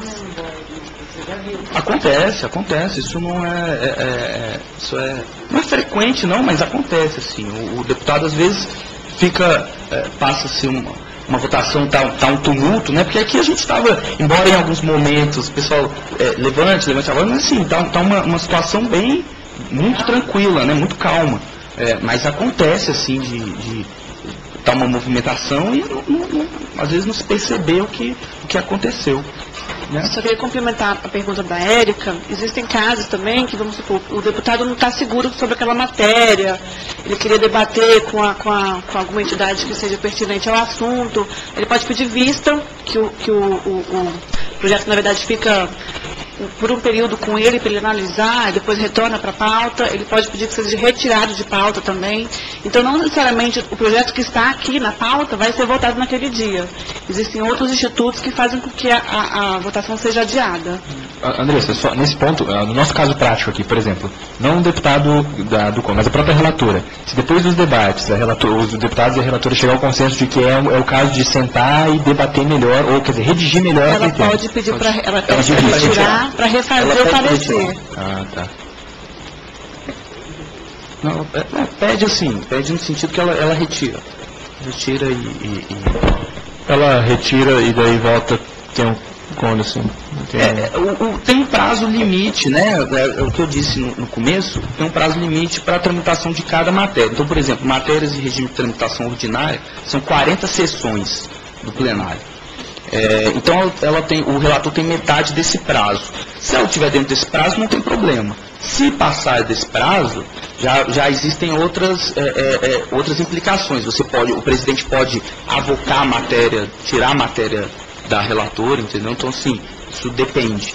Depende. Pode designar, de repente, um relator substituto, É, que assim, se ela ficar inerte por muito tempo. Hoje a gente botou aqui até esse, esse votação para justamente ver, que eu, eu acho que é, é o mais interessante aqui da, da dinâmica, é ver a, a- ver a questão da divergência, né? Então assim, mas normalmente no caso como esse, a relatora vê que vai perder, ela tira o projeto, entendeu? Assim, não, vamos, vamos, vamos analisar, às vezes está confuso, entendeu? E uma- um outro ponto que eu queria colocar, que assim é fundamental, que é, a relatora, na hora ela foi proferir o parecer, falou, faça alteração. É, qual alteração? Ela precisa deixar claro, porque o que ela disse, o que ela diz aqui no microfone, olha, o artigo 18 vai ficar assim. Essa é a redação, entendeu? A gente precisa ter, o, o deputado precisa ter isso claro para saber é, é, o que ele está votando. E é tudo feito por forma de, de slides, entrega o material, como que é? É, na verdade, isso é uma, uma, uma complementação de voto. Ele pode fazer oralmente, depois o relator apresenta uma complementação de voto. Então, assim, mudei isso, isso e isso. Se ele E- quiser apresentar uma imagem, como que o Pedro falou, assim, no, no slide, uma imagem, um relatório, ele pode fazer? Não, pode. Isso, isso não é comum. O, o slide aqui é utilizado normalmente para audiências públicas. Normalmente não se. Não, não- eu não. Eu não você, você vê, Andressa? Eu não, Não, costumo o ver isso. audiência pública é até interessante. Muitas vezes algum projeto que vai ser debatido na comissão e que ele é muito polêmico, então que os deputados não têm nenhuma base realmente para poder discuti-lo, eles vão lá e fazem um requerimento para a realização de uma audiência pública, para debater aquele projeto, aquele assunto, né, para poder chamar, eh, de repente, a academia, chamar algum outro órgão competente, para vir aqui se manifestar sobre aquele assunto. Mas isso são, assim, são, são procedimentos que co- acontecem fora das reuniões ordinárias, né? Do que? Sim, tem que apresentar um requerimento dizendo qual que é o assunto, tem que ser aprovado o requerimento aqui na, na reunião. E aí, muitas vezes, quando a matéria está nebulosa, eles se utilizam desse, ou do seminário ou da audiência pública para poder tratar o assunto. É um, é um- é um- é um dos principais momentos em que assim, a Câmara se abre, porque num debate, numa- numa- na discussão de uma proposição, só quem pode falar é o parlamentar. É, nessas audiências públicas, que a Câmara abre para a sociedade civil se pronunciar, né? para que as- as- os, organ- os Tem mais uma pergunta. Quem pode participar desse tipo de... A população pode entrar aqui? do que? Da, da audiência pública? Na audiência pública eu sei, mas a... Assistir? Assistir as comissões. Assistir a comissão, qualquer, qualquer pessoa. Qualquer pessoa pode entrar e assistir. Isso. Tem- hoje em dia tem um limite, É isso tem um limite de quantidade, né? é, cada plenário suporta. Que a gente sabe de, de polêmicas e tal. Mas, mas, mas, assim, mas respeitando esse limite, né, de, de quantidade de pessoas é, que a casa suporta e que os plenários suportam, aqui qualquer pessoa. No plenário Ulisses Guimarães só entra credenciado. Mas aqui nas comissões é, é, existem pessoas que né, não, são, não estão credenciadas, ficam aqui, partici- participam não, né? Ficam acompanhando a É, reunião. Eu posso fazer uma pergunta bem geral? Ontem a gente visitou a, a plenário da, da Câmara e eu percebi isso no Senado também. Lógico, deve ter algum fundamento para isso. Eu não consegui encontrar nenhum. Por que, que o presidente não tem, pelo que, que me pareceu, o presidente não tem tanta força ou não é comum ele pedir pela ordem? Porque muitas vezes eu percebi que o deputado estava falando lá na frente e os outros deputados estavam, tipo, falando sobre qualquer outro assunto ou falando sobre assuntos que não tem nada a ver com, com o que o deputado está falando. Então, de onde que vem? O, o presidente não tem força para pedir pela ordem para que os outros deputados prestem atenção, pelo menos não atrapalhem os outros que querem prestar atenção no que ele está falando? Ele, ele tem, é que muitas vezes essa situação é um pouco complicada, né? Porque, olha só, imagina, você está discutindo uma matéria aqui, um parlamentar pede a palavra, você não sabe o que ele vai falar.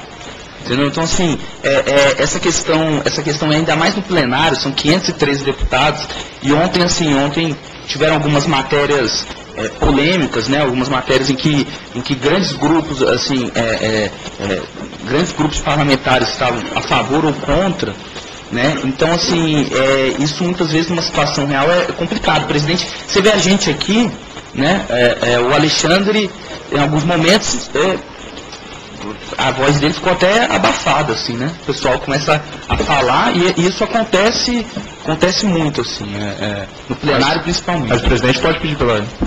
Não, pela ordem não. O presidente pode, o presidente pode tirar a palavra.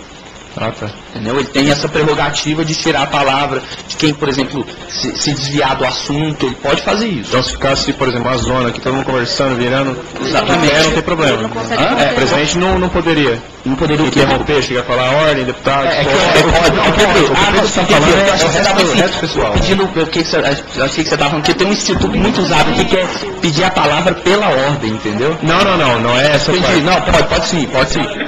Sei pela confusão, assim, porque ontem, pelo que eu percebi, nem eu estava conseguindo ouvir o que o deputado está falando. Então eu estava tentando prestar atenção. E aí os outros deputados conversando, uma rindo ali no canto, tipo, mó tranquilona, assim. Aqueles que têm interesse na matéria falei, que vão ficar ali perto prestando atenção. Os demais vão ficar dispersos, conversando, debatendo alguma outra coisa.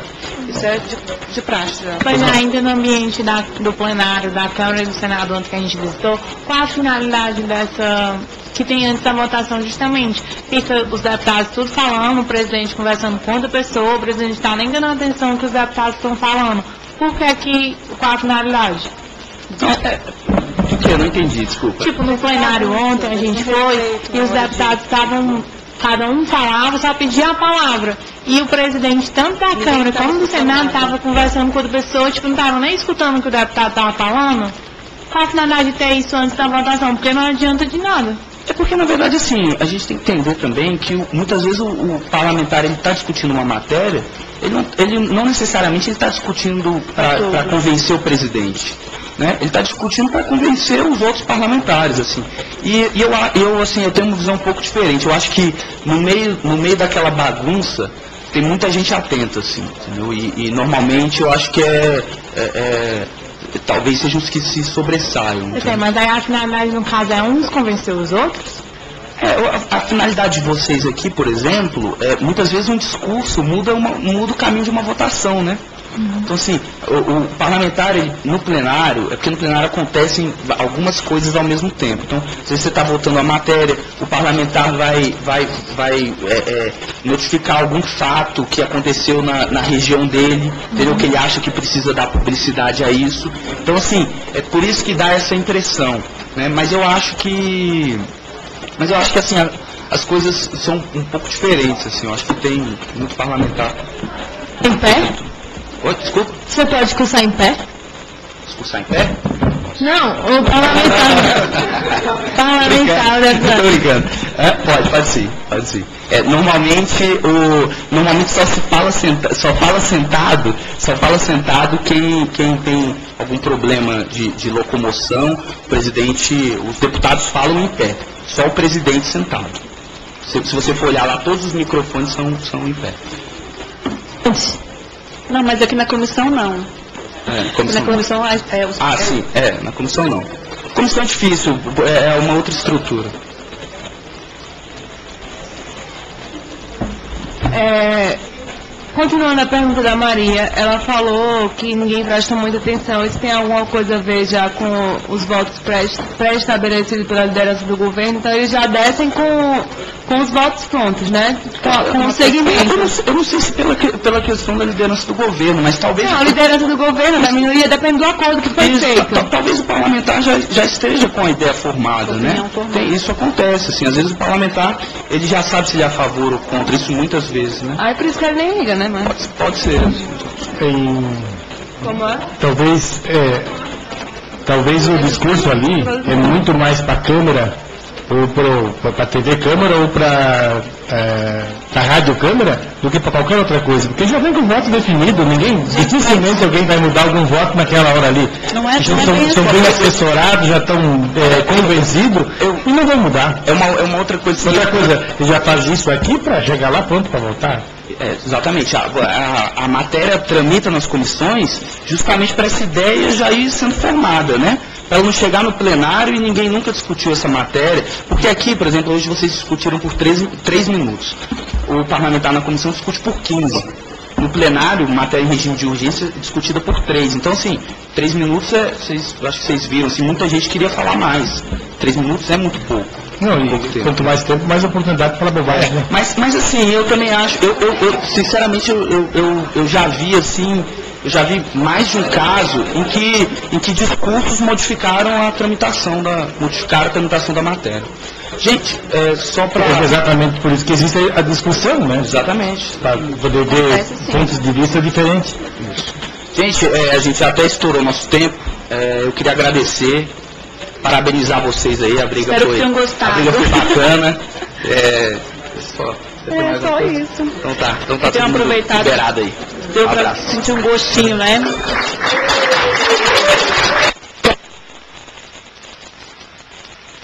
E agora, café? deputado. Agora vamos comemorar